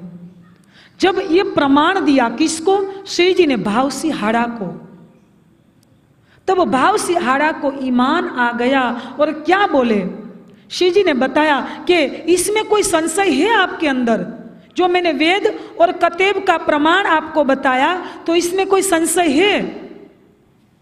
तो भाव सिहाड़ा ने बोला कि इसमें मेरे को कोई संशय नहीं है। लेकिन हाँ इतनी बात रखू कि मेरे दरबार में आए हुए जो मुसलमान लोग हैं, उसको आप कुरान संबंधी बात करके समझाओ और उसको ये समझाओ कि जो आपका कुरान कहते हैं, वही तो हिंदुओं का वेद उपनिषद जो अन्य धर्मशास्त्र कहते हैं, ये दोनों का मिलान करके तुम हमारे मुसलमान को समझाओ। ये चार है जो। तब श्री जी ने बोला कि, हे भावसी, चलो ऐसा करो, इन मुसलमानों को मेरे पास भेजो। और श्री जी ने उसी के पास भी वेद और कतेब का दोनों का एकीकरण करके, वेद और कतेब का, दोनों का एकीकरण करके एक झंडे के नीचे कैसे लाया जाए? क्योंकि आज मुस्लिम कह रहे कि हमारा खुदा ताला, अल्लाह ताला एक है वही बड़ा। और आज हिंदू तो एक परमात्मा तो नहीं कह रहे, एक परमात्मा के नाम पर अनेक को देवी देवताओं की पूजा भक्ति कर रहे हैं। लेकिन हमारे वेद और उपनिषदों का एक ही स्वर है कि परमात्मा एक है। न त्वा अन्यो, न पार्थिवो, न जातो, न जनिष्यते। परमात्मा के परमात्मा के बराबरी कोई नहीं कर सकता, कोई दूसरा नहीं है। न तृतीयो, न चतुर्थो, न पंचमो, न षष्टमो न सप्तमो, न अष्टमो, न नवमो। मतलब ये परमात्मा नहीं दो है, नहीं चार है, नहीं नहीं छ है, नहीं आठ है, नहीं नौ है, ये परमात्मा एक है। और श्री जी ने आगे बोला कि मैं आपके मुसलमान लोगों को ये भी समझाऊँगा। तो ये आपके पास आके ये क्या कहेंगे? कि नहीं, जो हमारी दिन इस्लाम की बात है, वो तो आपका निजानंद संप्रदाय की बात है। और दोनों का एकीकरण करके आपको पूरी साक्षी देंगे। मैं वहाँ तक की बात इन मुसलमानों को समझाऊँगा। और चारों अधिकारी लोग थे। उसको कुरान को लेकर श्री जी ने सब बात रखी कि भाई, तुम क्यों वेशभूषा जाति के लिए लड़ झगड़ रहे हो, मर रहे हो?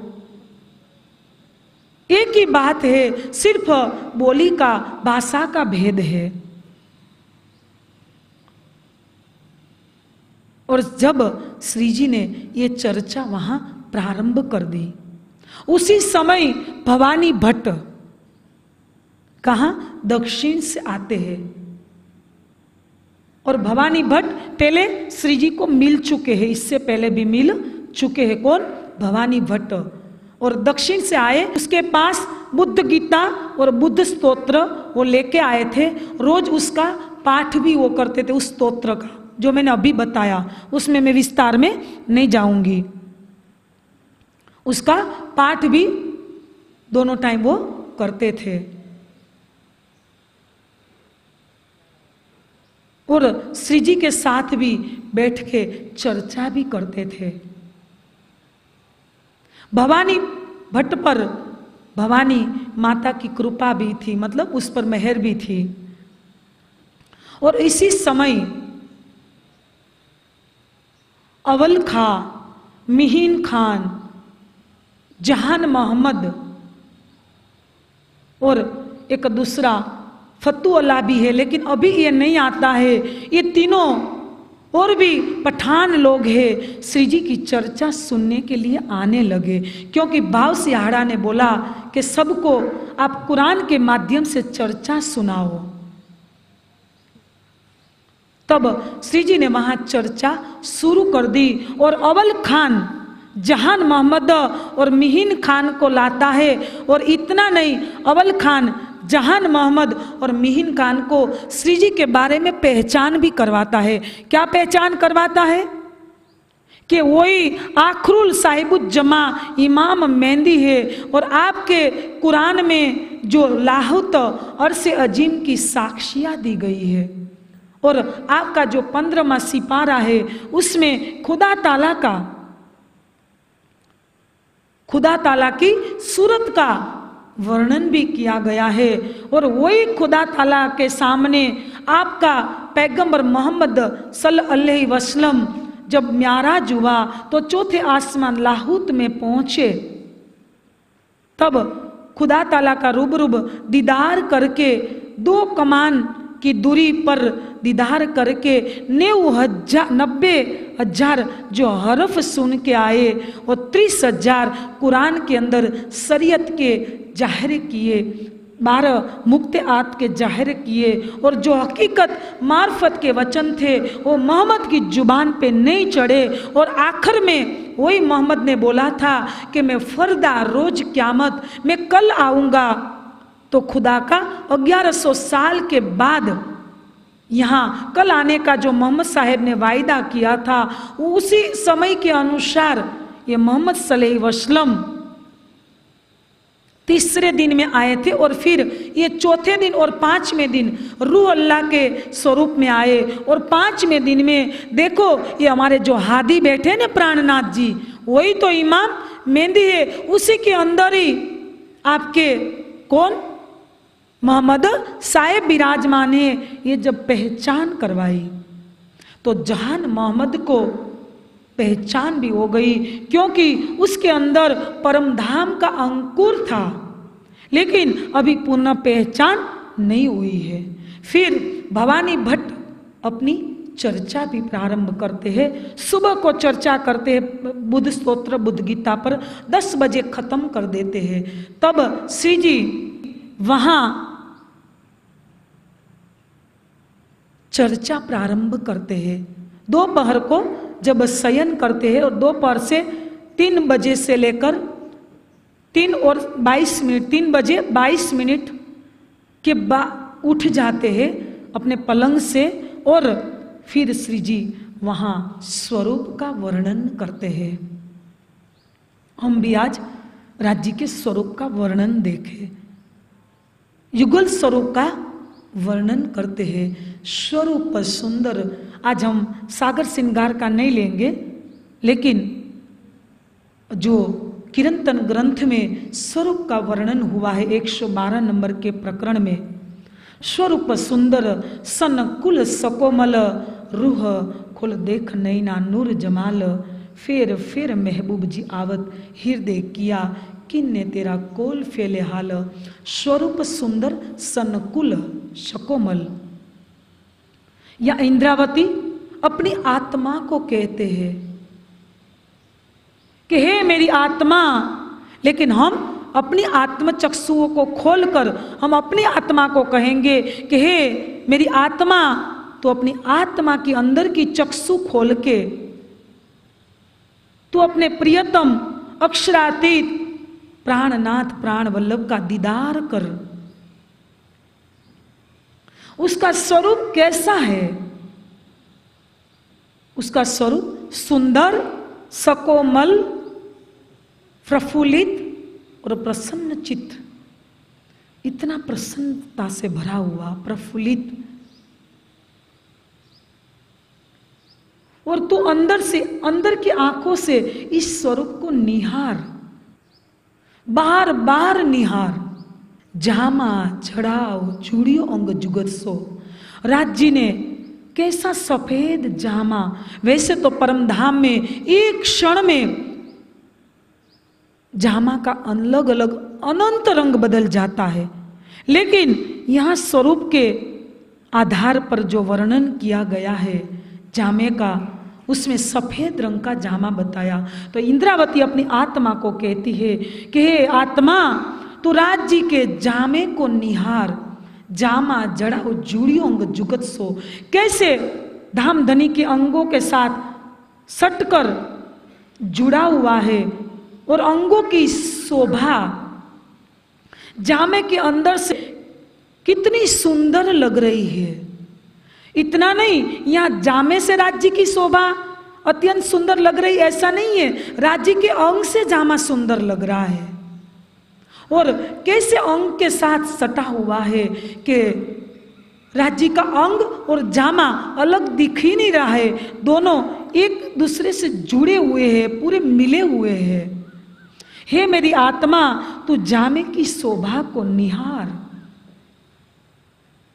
जामा जड़ जुड़ियंग जुगत सो। चारों हार अंबर करे जलकार।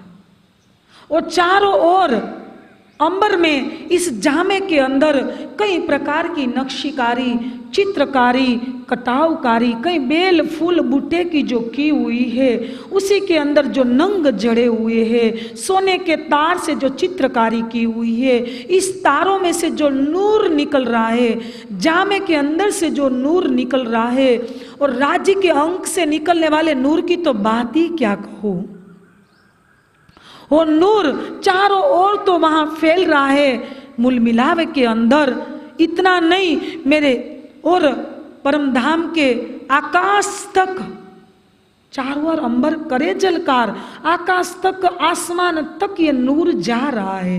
हे मेरी रूह, तू आत्म चक्षुओं से इस शोभा को निहार। जगमगे पाग ज्योत जवेर ज्यो। हे मेरी आत्मा, धाम धनी के सिर पर जो पाग है, सिर पाग बांधी हक चतुराई सो, हके पेच हाथ में ले, भाव दिल में ले के क्यों कहू शोभाविध ए? धाम धनी ने कैसे सिर पाग बांधी हक चतुराई सो, कैसे चतुराई से। कैसे पूरे दिल में इतने भाव लिए कि मैं ऐसे ही पाग बांधू? पाग के अंदर जो सो पेच लपेटे हैं, लेकिन लगता है कि एक ही पेच लपेटा हो, इतनी कोमल पाग। उसके अंदर भी कितनी जड़ावकारी, नक्शीकारी, चित्रकारी, कई नंगों से, सोने के तार से जो जड़ाव काम किया हुआ है और सिंदूरिया रंग की जो पाग धारण की है। हके पाग बांधी हक चतुराई, क्यों चतुराई से? कि मेरी रूह, जब मैं पाग बांधू ने, पाग स्वयं राज्य अपने हाथों से खुद बाँध रहे। नहीं तो वहाँ सखिया बांधती थी परमधाम में। रोज तीसरी भूमि में जब श्रृंगार होता था या वनों में श्रृंगार होता था तो यहाँ क्या बताया? कि कई बार राज्य अपने दिल में इच्छा करते कि नहीं, मैं ऐसी चतुराई से, ऐसी चालाकी से, ऐसे अंदर चंचलता के नेत्रों से रूह को ऐसे पाग बाँध के दिखाऊँ कि मेरी रूह, मेरी पाग को देखकर उसमें डूब जाए, मेरे प्रेम में गलित गात हो जाए। अके पेच हाथ में ले, कोमल पाग, कैसे पेच घुमाए हैं। भाव दिल में लेके क्यों कहो सुख विधे? क्योंकि रूहों के अंदर हर क्षण, हर पल सुख उपजाने के लिए धामधनी स्वयं पाग बाँध रहे हैं। और यहाँ जब बंगलाजी दरबार में आप पाग का वर्णन देखेंगे तो वहाँ पाग में मुकुंद दासी, कलगी, उका भाई भी आएँगे। सब पाग बांधने में वो भी वहाँ है। छत्रसाल जी भी आते हैं, वो भी श्रृंगार करते हैं। और यहाँ धामधनी स्वरूप का वर्णन के माध्यम से क्या बता रहे कि जरी जामा जड़व जुड़ी अंग जुगो सो चारू हरंबर करे जलकार। जगमगे पाग, ज्योत, जवेर ज्यो। हे मेरी रूह तो पाग के अंदर जो जवेर जड़े हुए हैं ना, उसके अंदर जो जलकार, नूर प्रकाश निकल रहा है आसमान और चारों ओर परम धाम में प्रकाश फैला रहा है, इस प्रकाश को, इस नूर को तू देख। मीठे मुख नैनों पर जाओ बलिहार। मैं ऐसे धनी के मुखार विंद पर, मैं वार बार बलिहारी जाती हूँ, कोट बार कुर्बान हो जाऊँ। मैं ऐसे कैसे रिजाऊ देख के? मेरे हृदय में अनंत प्रेम भरकर। लाल अधूर हसत मुख हरवटी मेरे धनी का अधूर कितना लाल है। और मेरे धनी ने नासिका में जो बेसर धारण की हुई है, इस बेसर में जो लाल है तो सफ़ेद नंग, लेकिन अधूर की लालिमा से वो नंग भी लाल हो गया है। हे मेरी रूह, तू इस अधूर को देख, लालिमा से भरे हुए, और बेसर को देख, उस नंग को देख। इतना नहीं। अधूर के जो यहाँ हरवटी है, उसमें जो लाख गहराई बनी हुई है, इस हरवटी और लाख को देख। और ओठों के ऊपर भी जो गहराई और नासिका की सुंदरता को देख। इतना नहीं, जब मुँह के अंदर जिहिया और दालम अनार की कलियों की जैसा दातुन और मीठी जुबा मीठे वचन, मीठी रूह, मीठा रूहो प्यार, मीठे रूहे, मीठे रस को मीठा करे विचार। ऐसी मीठी ज़ुबान को तू देख। कैसे मेरे धनी, इस मीठी ज़ुबान से मीठे वचन कैसे बोल के हम सब रूहों को कैसे परमधाम में रिझाते थे? और अभी भी देख, यहाँ कैसे रिझा रहे हैं। लाल अधुर हंसत मुखरवटी और धनी का मुखारविंद, ऐसे ही बस पल पल मंद मंद मुस्कुरा रहा है, हंस रहा है। इस मुखार विंद को, हे मेरी रूह तू देख। यहाँ तो हमको हँसी लाने के लिए कितनी वो करनी पड़ती। धनी तो वैसे ही बस पूरा दिन प्रफुल्लित रहते हैं, पूरा दिन मुखार विंद पर हँसी ही रहती है। लाल अधुर हसत मुख हरवटी नासिका तिलक, जो धनी के भाल में, नीलवट में तिलक बना हुआ है, कंचन का दोनों रेखाएँ चली गई है, बीच में लाल बिंदी है। नासिका नासिका से ऊपर चला हुआ है तिलक, यहाँ तक, और बीच में बिंदी। भोए केस। और नीलवट भी उज्जवल, गौर, लालिमा से युक्त, प्रेम से एक एक अंग भरे हुए हैं और धनी के गुंगराले काले काले बाल और यहाँ तक जो चले आए कानों के पीछे से आगे से और कानों में जो सुंदर बाले पहने हुए हैं, बाली पहनी हुई है। और घुंघराले बाल भी सुगंधित तेल से भिगोए हुए हैं। उस पर जो पाग की सुंदरता उसमें कलगी, दुगदुगी और चंद्रिका की जो शोभा आई हुई है तो तू पूरे मुखार विंद को लाल अधुर हसत मुख हरवटी नासिका तिलक नीलवट भोये केस। श्रवण श्रवण में जो बाली पहनी, भूषण, जो भूषण पहने हुए, श्रवण, भूषण, मुख दंत मीठी रसना ये देख दर्शन आवे, जोश आवे स। देख दर्शन तो तू पूरे मुखार विंद सो विंद को। तू पूरे मुखार विंद को जब आत्म चक्षुओं से निहारेगी तो क्या सुख होगा? तो एक बार जब ये स्वरूप को दीदार कर लिया, स्वरूप का देख लिया तो बार बार आपको देखने की इच्छा होगी। तो बार बार देखने की इच्छा को जोश कहा गया और उसी के बाद आपके धाम दिल में ये स्वरूप जब अंकित हो जाएगा, ये स्वरूप जब अखंड हो जाएगा तो आपको बार बार ऐसा अनुभव नहीं, महसूस नहीं, अनुभव होगा, अनुभूति होगी कि अरे, ये धनी तो कोई परम धाम में मूल मिला में थोड़ी बैठे हैं, ये तो मारे, मेरे धाम दिल में उसका युगल स्वरूप का पूरा स्वरूप मेरे धाम दिल में अखंड हो गया। यहाँ बैठे हैं। अरस तुम्हारा मेरा दिल है। ऊपर तले अरस ना कहिया, अरस कहिया मोमिन कलूब। बाहें चूड़ी बाजूबंद बाहें दोनों बाजुओं में बाजू बंद। इतना झलकार करे। उसमें तीन तीन नीचे फुंदन। बाहें चूड़ी और जो जामे की बाहें बनी है, जामे की जो यहाँ कांडे तक की, उसमें कैसी चुन्नटें बनी है? ये भी तू देख। और बाजुओं में बाजूबंद तीन तीन फुंदन, बाहें छुड़ी बाजूबंद सोए फुमक पहुँची और जो कलाई में पहुँची और कड़े की शोभा का तो तू देख। एक में एक पूरा दुगदुगी आई है, उसमें सात नंग है। एक मोची में सात, एक साथ दुगदुगी आई है, पेंडन आए है, और एक एक में सात सात नंग जड़े हुए हैं।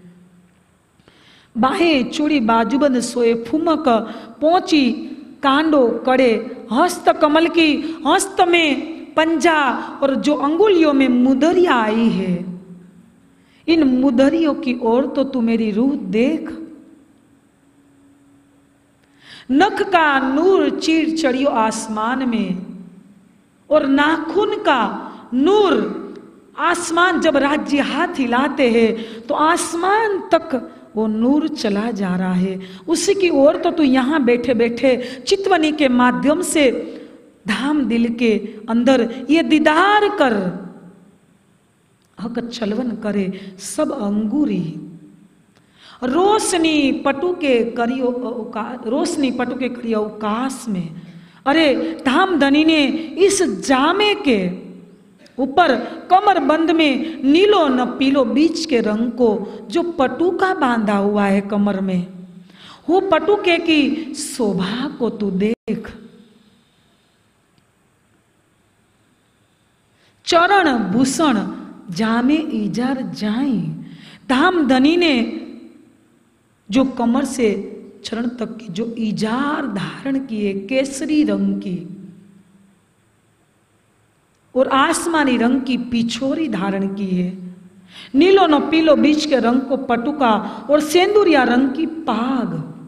और इतना नहीं, और चरणों में जो जांजरी घूंगरी कांबी और कडला धारण किए हैं, इन कडलों के अंदर, इन झांझरी के अंदर, इन घुंघरी के अंदर इन कांबी के अंदर, ये इजार और जामे की जाए, उन नंगों के अंदर झलक रही है। इतना नहीं, उसमें से कई तरंग और किरणें निकल रही है और ये भी आकाश तक जा रही है, आसमान तक जग, झलकार कर रही है।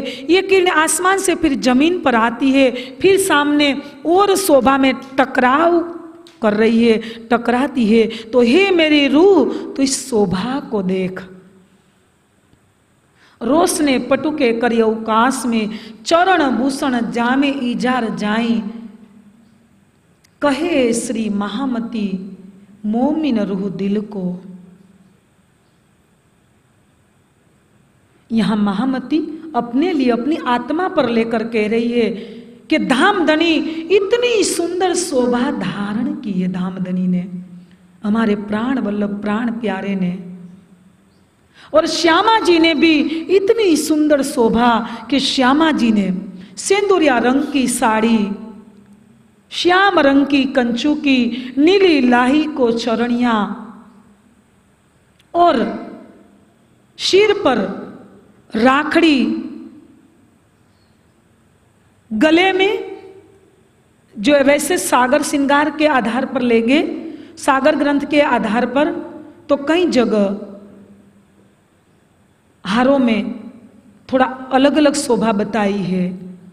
यहाँ चार आरों की, राज्य के गले में चार हार बताया किरंतन ग्रंथ के माध्यम से कि राज्य के गले में चार हार सुशोभित है। यहाँ श्यामा जी की शोभा को देखो तो सागर ग्रंथ के माध्यम से सात हारों की भी शोभा बताई। पाँच हार के ऊपर चंपाकली और कंठशरी भी बताई है। और राज्य के गले में कई पाँच हार की भी शोभा बताई है। और बाजू में श्यामा जी ने बाजू बंद, गले में हार और नासिका में बेसर, कान में बांदड़ी। वो भी उज्जवल लालिमा युक्त गौर मुखार बिंद। और यहाँ मोर पिछ जैसी बिंदी की हुई है श्यामा जी ने। राखड़ी के नंग भी यहाँ झलक रहे हैं। और हाथ में श्यामा जी ने नव घड़ी, नव चूड़ और कंकनी की शोभा कई विशेष प्रकार की आई है। अंगुलियों में मुदरिया की शोभा, अंगूठियों में एक में आरसी और एक में हीरे की और कमर में कमर बंद चरणों में झांझरी घुंगरी कांबी और कडला और राज्य ने भी अंगूठे में मुदरिया तो धारण की है। यहाँ श्यामा जी ने विशेष अनवट में विशेष कहने बिछिया भी धारण किया हुआ है। और दोनों के फन्ने की टाकन, घुटी, कांडा, कलाई, सब शोभा, लाख लीक यहाँ क्या बताया कि राज्य ने, युगल स्वरूप ने कैसी अनुपम अवलौकिक अद्भुत शोभा धारण की है। कि यह स्वरूप महामती कहे, मोमिन रूह दिल को। मेरी रूह को धामधनी अपनी ओर खींच रहे, अपनी ओर आकर्षित कर रहे। रूह को, महामती कहे, मोमिन रू दिल को खेचे परम धाम के माही। परम धाम में मूल तन की ओर आकर्षित कर रहे हैं। सुंदर साची, ये स्वरूप का वर्णन धाम धनी ने यहाँ सुंदर सात के बीच में और पठानों के बीच में सुनाया। और आगे, जब ये वर्णन सुनाया और वर्णन सुनाने के बाद पठानों ने जब ये वर्णन सुना और जहान मोहम्मद वो वर्णन को सुनते हैं और सुनने के बाद अभी अंदर परमधाम का अंकुर भी है, लेकिन पूर्ण पहचान नहीं हुई है। तो फिर क्या होता है? वो कहते हैं कि मेरे को सत्य की पहचान करवाओ। मेरे को सत्य की पहचान करवाओ। बस मैं सत्य जानना चाहता हूँ। तो एक दिन क्या हुआ? इतना तो वर्णन जहान मोहम्मद ने सुन लिया था। तो एक दिन श्री जी चर्चा रोज करते भागवत की कतेब ग्रंथों की, और सब सुंदर साथ और पठान लोग वहाँ सुनते हैं। यहाँ मैंने जहान मोहम्मद की बात रखी। जहान मोहम्मद भी सुनते हैं। एक दिन लालदासी और उत्तम दासी को ऐसा विचार आया कि चलो, आज जहान मोहम्मद को मैं परमधाम में श्री राज जी के स्वरूप का वर्णन कर दो, जो मैंने अभी अगले बताया। तो जब उसने जल्द जल्द में एक दिन जहान मोहम्मद को खुदा ताला की सूरत का वर्णन कर दिया, और मुस्लिम लोग क्या मानते हैं? कि खुद कुरान में लिखा हुआ है कि खुदा ताला की सूरत का वर्णन तो खुदा ताला स्वयं आएँगे, वही करेंगे, और कोई जो दूसरा लोग करेंगे तो वो काफिर कहलाएँगे। तो यहाँ जहान मोहम्मद के अंदर वो बात बैठी हुई थी कि अरे, ये उत्तम दासी और लाल दासी क्यों वर्णन कर रहे हैं? क्योंकि जहान मोहम्मद के सामने किया ने। तो फिर उसने क्या सोचा? कि अरे, मेरे को तुम्हारी चर्चा नहीं सुननी है। मैं तो यहाँ से जा रहा हूँ। मैं दो महीने से आपकी चर्चा सुन रहा हूँ, लेकिन मेरे अंदर कोई ज्ञान का प्रकाश हुआ ही नहीं। तो मैं यहाँ से जा रहा हूँ। और दूसरे दिन जहान मोहम्मद चर्चा सुनने के लिए नहीं आया। तब उत्तम दासी और लालदासी ने श्री जी को क्या बोला कि हम ऐसा करें? कि जहान मोहम्मद को बुला के लाए। तब श्री जी ने बोला कि मेरी चर्चा उसने 24 दिन से सुन रहे हैं। बोलो, श्री प्राणनाथ, क्या बोले? यहाँ क्या बताया कि मेरी चर्चा जहान मोहम्मद ने सुन ली है? तो इस प्रसंग से क्या प्रेरणा ले गए हम? कि हम रोज सुनते रोज सुनते तो हमारा अंदर जीव भी गलना चाहिए ने, अंदर वीर पैदा होना चाहिए ने। हम भी जहान मोहम्मद की तरह रहना पाए चर्चा के बिना। और जैसे हमने कल अवल खान का भी प्रसंग देखा था कि अपने बॉडी पर चाबुक मारने लगा था ने, घोड़े पर सवार होकर आया था। मैं एक बात आज ये ये भी रखना चाहती हूँ कि हमारे जीव अंदर अभी पूर्ण रूप से जागृत नहीं हुआ है और माया की ओर बार बार चाहना करता है, माया की ओर बार बार लालच करता है। तो सुंदर जी, हमने कभी भी चाबुक मारा? वो वाला नहीं जो अवल खान ने मारा था। कोई वैसे वाली सोटी या चाबुक से मारना नहीं है। लेकिन कभी भी जीव को कोसा, क्या जीव को कभी भी ठोका कि अरे जीव, तू भी कितने दिनों से ये तारतम वाणी पढ़ते आ रहा है? तेरे अंदर अभी जीव क्यों नहीं गल रहा है? और हम भी काम, क्रोध, लोभ, हमारे अंदर जो भी अवगुण है, वो निकालने के लिए क्या हमने कभी भी चाबुक मारा? चाबुक मारला मतलब अपने को सजा देना, अपने को तोलना, अपने को सजा देना, अपने को तोलना। और धामधनी वाणी में क्या बताया? या सो महामती प्रेमले तोलती। तो परम धाम परम धाम में क्या हो उगा होगा? वहाँ धामधनी प्रेम से तोले गए। उसी के बिना हमारी धाम दरवाजे में एंट्री नहीं होगी। तो यहाँ हमारा जीव गलेगा नहीं, वीर की अग्नि में नहीं डूबेगा।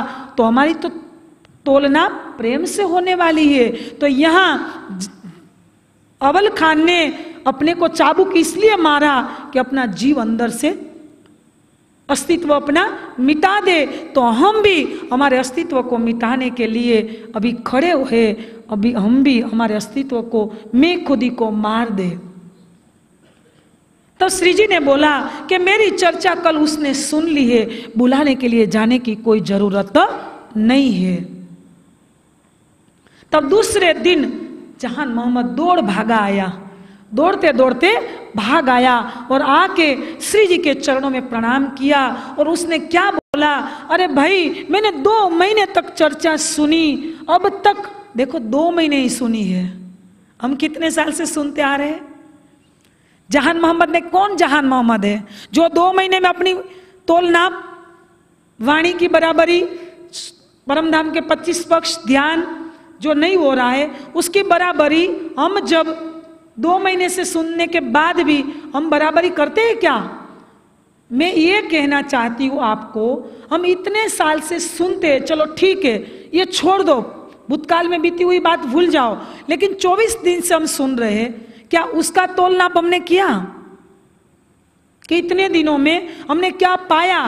कितना आत्मसात किया? और किया उसी पर हमारी आत्मा कितनी चल रही है? क्या हमने तोल नाप किया? जहान मोहम्मद ने क्या किया? बोले श्री जी के सामने कि मैं दो महीने से सुन रहा हूँ। श्री जी अभी भी मेरी आत्मा क्यों जागृत नहीं हुई? आप ऐसा करो ने, मेरे को जो वास्तविकता है, जो यथार्थता है, वो जो सत्यता है, वो बताइए। ये भी हमारे अंदर भी घाव लगना चाहिए, अंदर चोट लगनी चाहिए। फिर जहान मोहम्मद को श्री जी ने बोला कि हे जहान मोहम्मद, तू ऐसा कर, एक सप्ताह बस तेरी समय की कुर्बानी दे दे। एक सप्ताह के लिए समय की कुर्बानी दे और एक सप्ताह में एक दिन में एक पहर, तीन घंटे। एक पहर मतलब तीन घंटे। बस एक दिन में तेरे को तीन घंटे चर्चा सुनी और आठ दिन ही सुननी है। कितने दिन? आठ दिन ही। बस आठ दिन के बाद तेरी रूह जागृत ना हो तो तुम तुम्हारे और मैं अपने यहाँ, ठीक है? और यहाँ श्री जी ने जब चर्चा शुरू की, पहले दिन चर्चा सुनी, सुंदरसा जी सब जगह धामधनी एक एक प्रसंग से प्रेरणा दे रहे हैं। और सुनते सुनते एक दिन चर्चा सुनते हुए श्री जी को बीच में क्या बोला? कि हे धामधनी, मेरे को ये बताओ कि कब्र से मुर्दे कब उठेंगे? कब्र से मुर्दे कब उठेंगे? तब धामधनी ने व्रज से लेकर, मूल मिलावे से लेकर, और ये नहीं मूल मिलावे इश्क रबद से लेकर बात शुरू की। तो ये बात हम थोड़ी शॉर्ट हम समझेंगे क्योंकि बार बार ये बात आ गई है और जो जो बातें नहीं रखी है उसके अंदर प्रकरण के माध्यम से ये बात को हम लेंगे। तो यहाँ धामधनी ने क्या बताया कि जहान मोहम्मद, सुन। हम चौथे आसमान अरसे अजीम लाहुत में हम अनादिकाल से प्रेममयी, आनंदमय लीला करते थे। वहाँ हमारा प्रेम का मीठा रबद हुआ और अक्षर ब्रह्म ने, अक्षर ब्रह्म के दिल में प्रेम और आनंद की लीला देखने की इच्छा हुई और सखियों के दिल में अक्षर ब्रह्म को खेल देखने की इच्छा पैदा हुई। दोनों की इच्छा पूर्ति के लिए धामधनी ने सबसे पहले व्रज में भेजा। और व्रज का ब्रह्मांड लई करके फिर रास में गए। रास में भी हमारे मनोरथ ना पूर्ण हुए। तो फिर हम परम धाम गए थे। वहाँ वही बात लेके बैठे। तो धाम धनी ने ये तीसरा ब्रह्मांड बनाया। ये तीसरे ब्रह्मांड में हम आए।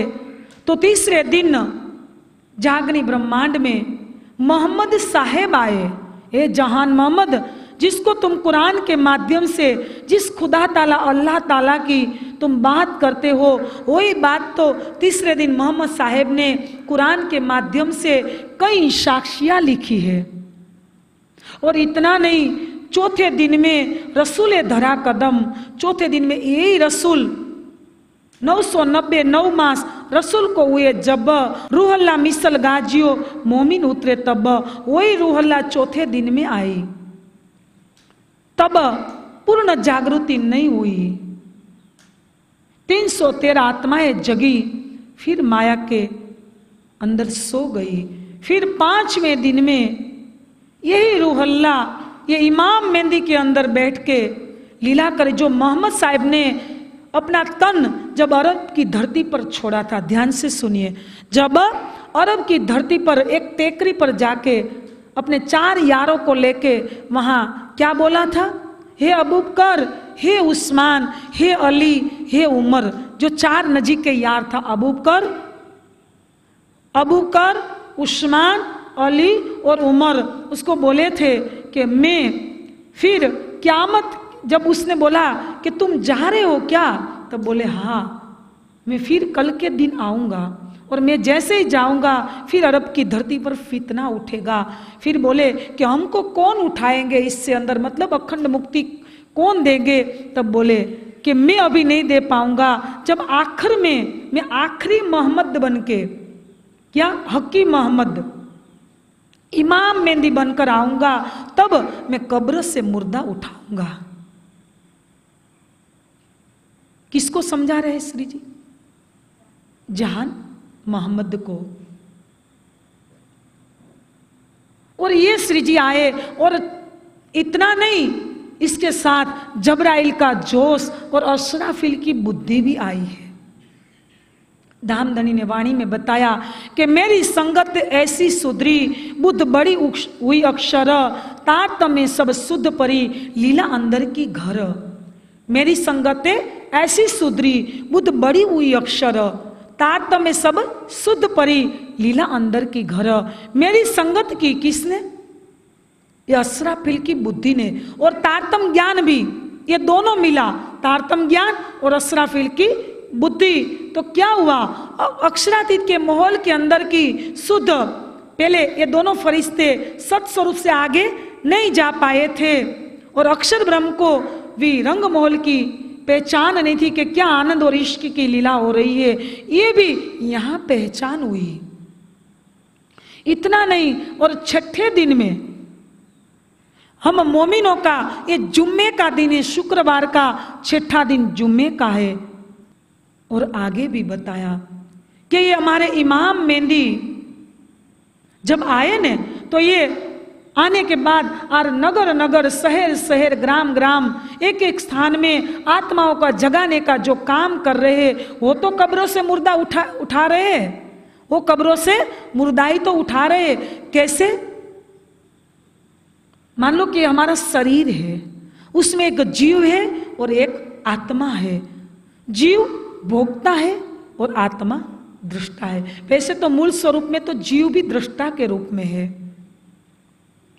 और जीव पर आत्मा दृष्टा बैठकर दृष्टा के रूप में इस खेल को देख रही है। और यहाँ आके अपने स्वरूप को जीव मानकर बैठ गई और अपने मूल स्वरूप को भूल गई, मूल घर को भूल गई कि मेरा मूल घर कहाँ है, मेरे मूल प्रियतम कहाँ है।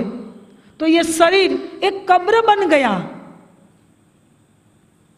मैं कौन हूँ? कहाँ से आई हूँ? ये शरीर और संसार को छोड़कर जाना कहाँ है? और मुसलमानों ने क्या अर्थ ले लिया बाहरी? कि क्यामत मतलब प्रलय। तो यहाँ बड़ी, यहाँ क्यामत दो प्रकार की बताई है। छोटी क्यामत और बड़ी क्यामत, सुगरा और कुबरा। तो यहाँ छोटी क्यामत एक सूर्य उड़ाई के दिए, पहले ज्ञान का अवतरण और फिर सब संसार के जीवों को आठ प्रकार के विस्त में, आठों प्रकार के स्थान में अखंड मुक्ति मिलेगी। तो किस माध्यम से? तो यहाँ बताया कि जीव ऐसा ही अंदर बहुत जन्मों से ये शरीर रूपी कब्र में सोया हुआ है। उसको अपनी सुधि नहीं है, अपने प्रियतम की सुधि नहीं है, धाम की सुधि नहीं है। और तारतम ज्ञान के माध्यम से ये सब सुधी हुई। तो तब ये जीव कब्र से उठा। जब इतना सुना ने जहान मोहम्मद ने तो क्या बोले? कि ओ, मेरे को पहचान हो गई धामधनी। मेरे को पहचान हो गई। और श्री जी के चरणों में गिर पड़े। प्रणाम किया अपना सर्वस्व श्री जी के चरणों में समर्पित कर दिए। और आगे, और श्री जी की चर्चा सुंदर साजी रात्रि को प्रारंभ होती थी, सुबह तक चलती रहती थी। और वहाँ श्री जी चर्चा भी करते थे और चर्चा में जब उसको पता चला कि जहान मोहम्मद, किसको पता चला? और पठान लोगों को पता चला। और उसी समय फतेह मोहम्मद। ये तीनों ने को तो ईमान आ गया। किस किस को? मिहिन खान को, जहान मोहम्मद को और अवल खान को। लेकिन अभी फतेह मोहम्मद के अंदर ईमान नहीं आया था। वो एक दिन आया और उसने क्या बोला? यहाँ श्री जी की मैंने बोला, ना चर्चा चल रही है और रात को श्री जी बैठते, सुबह तक चर्चा चलती रहती है। सुबह, लालदासी सब स्नान आदि के लिए निकलते हैं, जाते हैं और वो लोग, पठान लोग भी अपने घर पे जाते हैं। फिर श्री जी की चर्चा शुरू होती है और सब पठानों को पता चला कि जहान मोहम्मद ने हिंदू वैरागी के चरणों में अपना शीश झुका दिया है और बीच में किस्सा और भी घटता है कि जब फतेह मोहम्मद को पहचान नहीं हुई, वो चालीस हदीसा लेकर आते हैं और चालीस हदीसा लेकर जहान मोहम्मद को देते हैं और क्या कहते हैं? कि जहान मोहम्मद, इन चालीस सदीसों को खोलकर स्पष्ट करके तू मेरे को बता तो मैं तेरा हिंदू वैरागी पर ईमान लाऊँगा, जिसने, जिसके चरणों में तूने शीर रखा है। तो जहान मोहम्मद फतेह मोहम्मद को लेकर, चालीस सदीसों को लेकर श्री जी के पास आए। ध्यान से सुनिए, श्री जी ने क्या जवाब दिया? श्री जी ने क्या जवाब दिया कि अरे जहान मोहम्मद, तूने मेरे से तारतम लिया है ने? सुंदर साथ, ये किसकी बात चल रही है?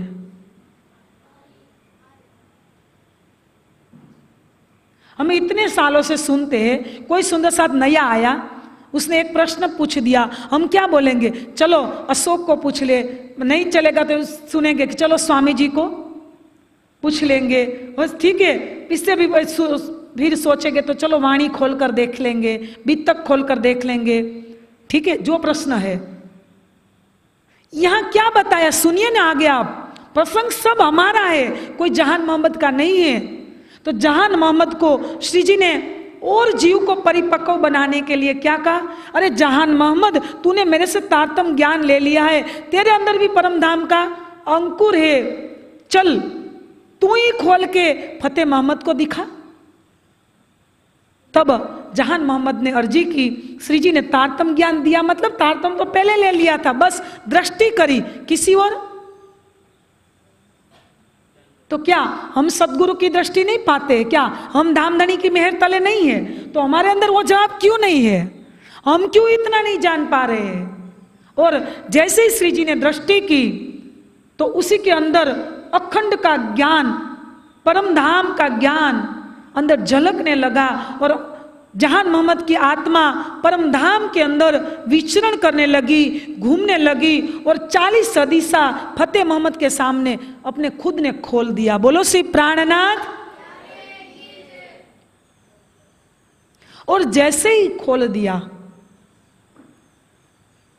चालीस हदीसा तो तब फतेह मोहम्मद ने स्वीकार तो कर लिया कि चलो खोल दिया। फिर बाद में जहान मोहम्मद ने एक प्रश्न पूछा, क्योंकि जिसके अंदर पाप भरा है ना तो उसके अंदर तो अंकुर था जहान मोहम्मद के अंदर तो उसने पूछा, कि, जो मैंने चालीस सदी से खोल दिया है पते मोहम्मद, उसी के बारे में कोई प्रश्न को लेकर तेरे को कोई शंका है क्या? तब फतेह मोहम्मद ने बोला, कि नहीं, तुमने जो चालीस सदी से खोल दिए, उसी के बारे में तो कोई शंका नहीं है। तो फिर जहान मोहम्मद ने, सुनिए, दूसरा प्रश्न क्या किया? तो कुरान के माध्यम से जो खुदा ताला की सूरत का वर्णन किया गया है, क्या उसको तू स्वीकार करेगा? मतलब तेरे दिल में उसी के बारे में कोई संशय है? तब फतेह मोहम्मद ने क्या बोला कि हाँ चौकस, निश्चित, खुदा ताला का, खुदा ताला की सूरत का वर्णन कुरान के पंद्रहवें सिपारे में, सबे म्याराज के अंदर वर्णन है, उसमें खुद, खुदा ताला का वर्णन बहुत अच्छे ढंग से किया गया है। मैं स्वीकार करता हूँ, लेकिन अभी सरा तोरा इजाज़त नहीं देती।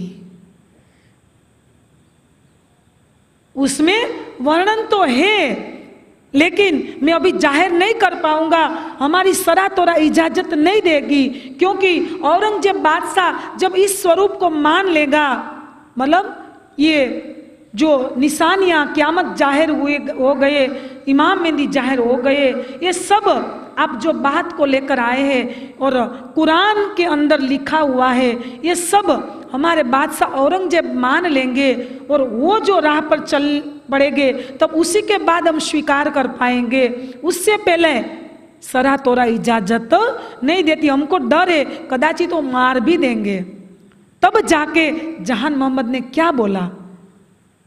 कि अरे, तेरा ईमान खुदा ताला से ज़्यादा बादशाह पर है क्या? तेरे लिए खुदा ताला बादशाह है क्या? तो फिर फतेह मोहम्मद के दिल में थोड़ी दुष्टाई आ गई, पाप आ गया और वहाँ से वो चला गया और वहाँ जाके अपने सैनिकों के अंदर सी अपनी सिपाही में शोर मचाने लगा और अपने पठान लोगों को बोल दिया कि जाओ, तुम जहान मोहम्मद को बोलो कि उन हिंदू वैरागी के चरण में ना जाए। तो वहाँ से सब पठान मिलकर सुंदर सा जी आते हैं। कहा? जब श्री जी चर्चा करते हैं, दोनों ओर रेवल पर धार्मिक ग्रंथ भी पधराए हैं। पीतल की दीवी मतलब दीपक भी जल रहे, प्रकाश भी पूरा फैला हुआ है और लालदासी ईसी और केशवदासी और सुंदर साथ बैठे रेवल पर धर्म ग्रंथ भी कुरान, हदीसा और धर्म ग्रंथ पधराए, वहाँ कई पठानों का जूथ आता है। और आके इतना शोर मचाता है, क्या? कि हे वैरागी लोग, आप गले में माला धारण की है? और वेशभूषा, ऐसी भगवी धारण, ऐसी वैरागी धारण की है? तिलक भी किया हुआ है और हिंदू बनकर हमारी कुरान, हमारे कुरान को क्यों आप पढ़ रहे हो? तुम तो काफिर लोग हो। तुम हमारे कुरान को नहीं पढ़ सकते। बहुत मतलब वहाँ फितना उठाया, झगड़ा करने लगे। जब जहान मोहम्मद को पता चला तब जहान मोहम्मद ने बोला, अरे, पठान लोग, तुम क्यों उसी के सामने हमारे हादी और सुंदर साथ के सामने झगड़ा कर रहे हो? तुम जाओ, मैं तो तुम्हारा आरबी खा मतलब तालीम देने वाला। मैं एक मर्मज्ञ विद्वान हूँ, मैंने तो तुमको कुरान सिखाया है और आज तुम ही उठकर, मैं तुम्हारा गुरु हूँ, मीर हूँ, पीर हूँ और तुम ही उठकर आज सामने झगड़ने के लिए आए हो। जाओ। तो उसने ज़्यादा शोर मचाया। और वहाँ से, भगत जी, हे साधु, हम जा रहे हैं। ऐसा कहकर वहाँ निकल गए, लेकिन वहाँ शांति से वो नहीं बैठे। फिर जहान मोहम्मद को रोकने का प्रयास किया तो जहान मोहम्मद उसके सामने झगड़ने लगे। किसके सामने? पठान लोगों के सामने। श्री जी ने समझाया कि हे जहान मोहम्मद ये शरीयत के मुसलमानों के साथ ऐसे उदड़ मुसलमानों के साथ, ऐसे कर्मकांडी और इतना नहीं, वो क्रूर अत्याचारी है, उसके सामने झगड़ना ठीक नहीं है। तू नीति से काम ले सावधानी पूर्वक काम ले, छोड़ दे उन लोगों को। तब जहान मोहम्मद ने बोला, ध्यान से सुनिए, क्या बोला कि अरे, मैंने तुम्हारी एक हादी के स्वरूप में पहचान की है। इतना नहीं, इमाम मेहंदी के स्वरूप में पहचान की है। इतना नहीं और से अजीम खुदा ताला के स्वरूप में पहचान कर लिए। क्या मेरे प्रेम को कलंकित करूँ? क्या मेरी पहचान की गरिमा को नीचे कर दूँ? क्या ज़मीन में मिला दूँ? धूल में मिला दूँ? क्या मिट्टी में मिला दूँ? तो तो मेरी गरिमा ही क्या रहेगी पहचान की? नहीं मैं श्री जी, उन वचनों को नहीं मानूँगा। तब जाके वो फतेह मोहम्मद ने बहुत वो उठाया, झगड़ा भी किया और आगे अपने सिपाहियों में मतलब पठान लोगों में क्या बोल दिया कि उन वैरागियों को पकड़ लो। जब वो पकड़ने के लिए आए, कहा इन सुंदर सातुर श्री जी को, तब श्री जी, फतेह अल्लाह की मोहल्ले जो मोहल्ला है, उसी के पास की हवेली में एक मुल्ला मौलवी को लेकर कुरान के सिपारे का हिंदी में अनुवाद करवा रहे थे। उसी को पता ही नहीं कि उन वैरागियों को पकड़ने के लिए फतेह मोहम्मद ने एक सेना छोड़ दी है। तो वो तो वहाँ मौलवी के पास सिपारा का अर्थघटन करवा रहे थे। उसी समय क्या हुआ? ध्यान से सुनिए आगे। तब जहान मोहम्मद को राज़ी ने प्रेरणा कर दी कि जाओ।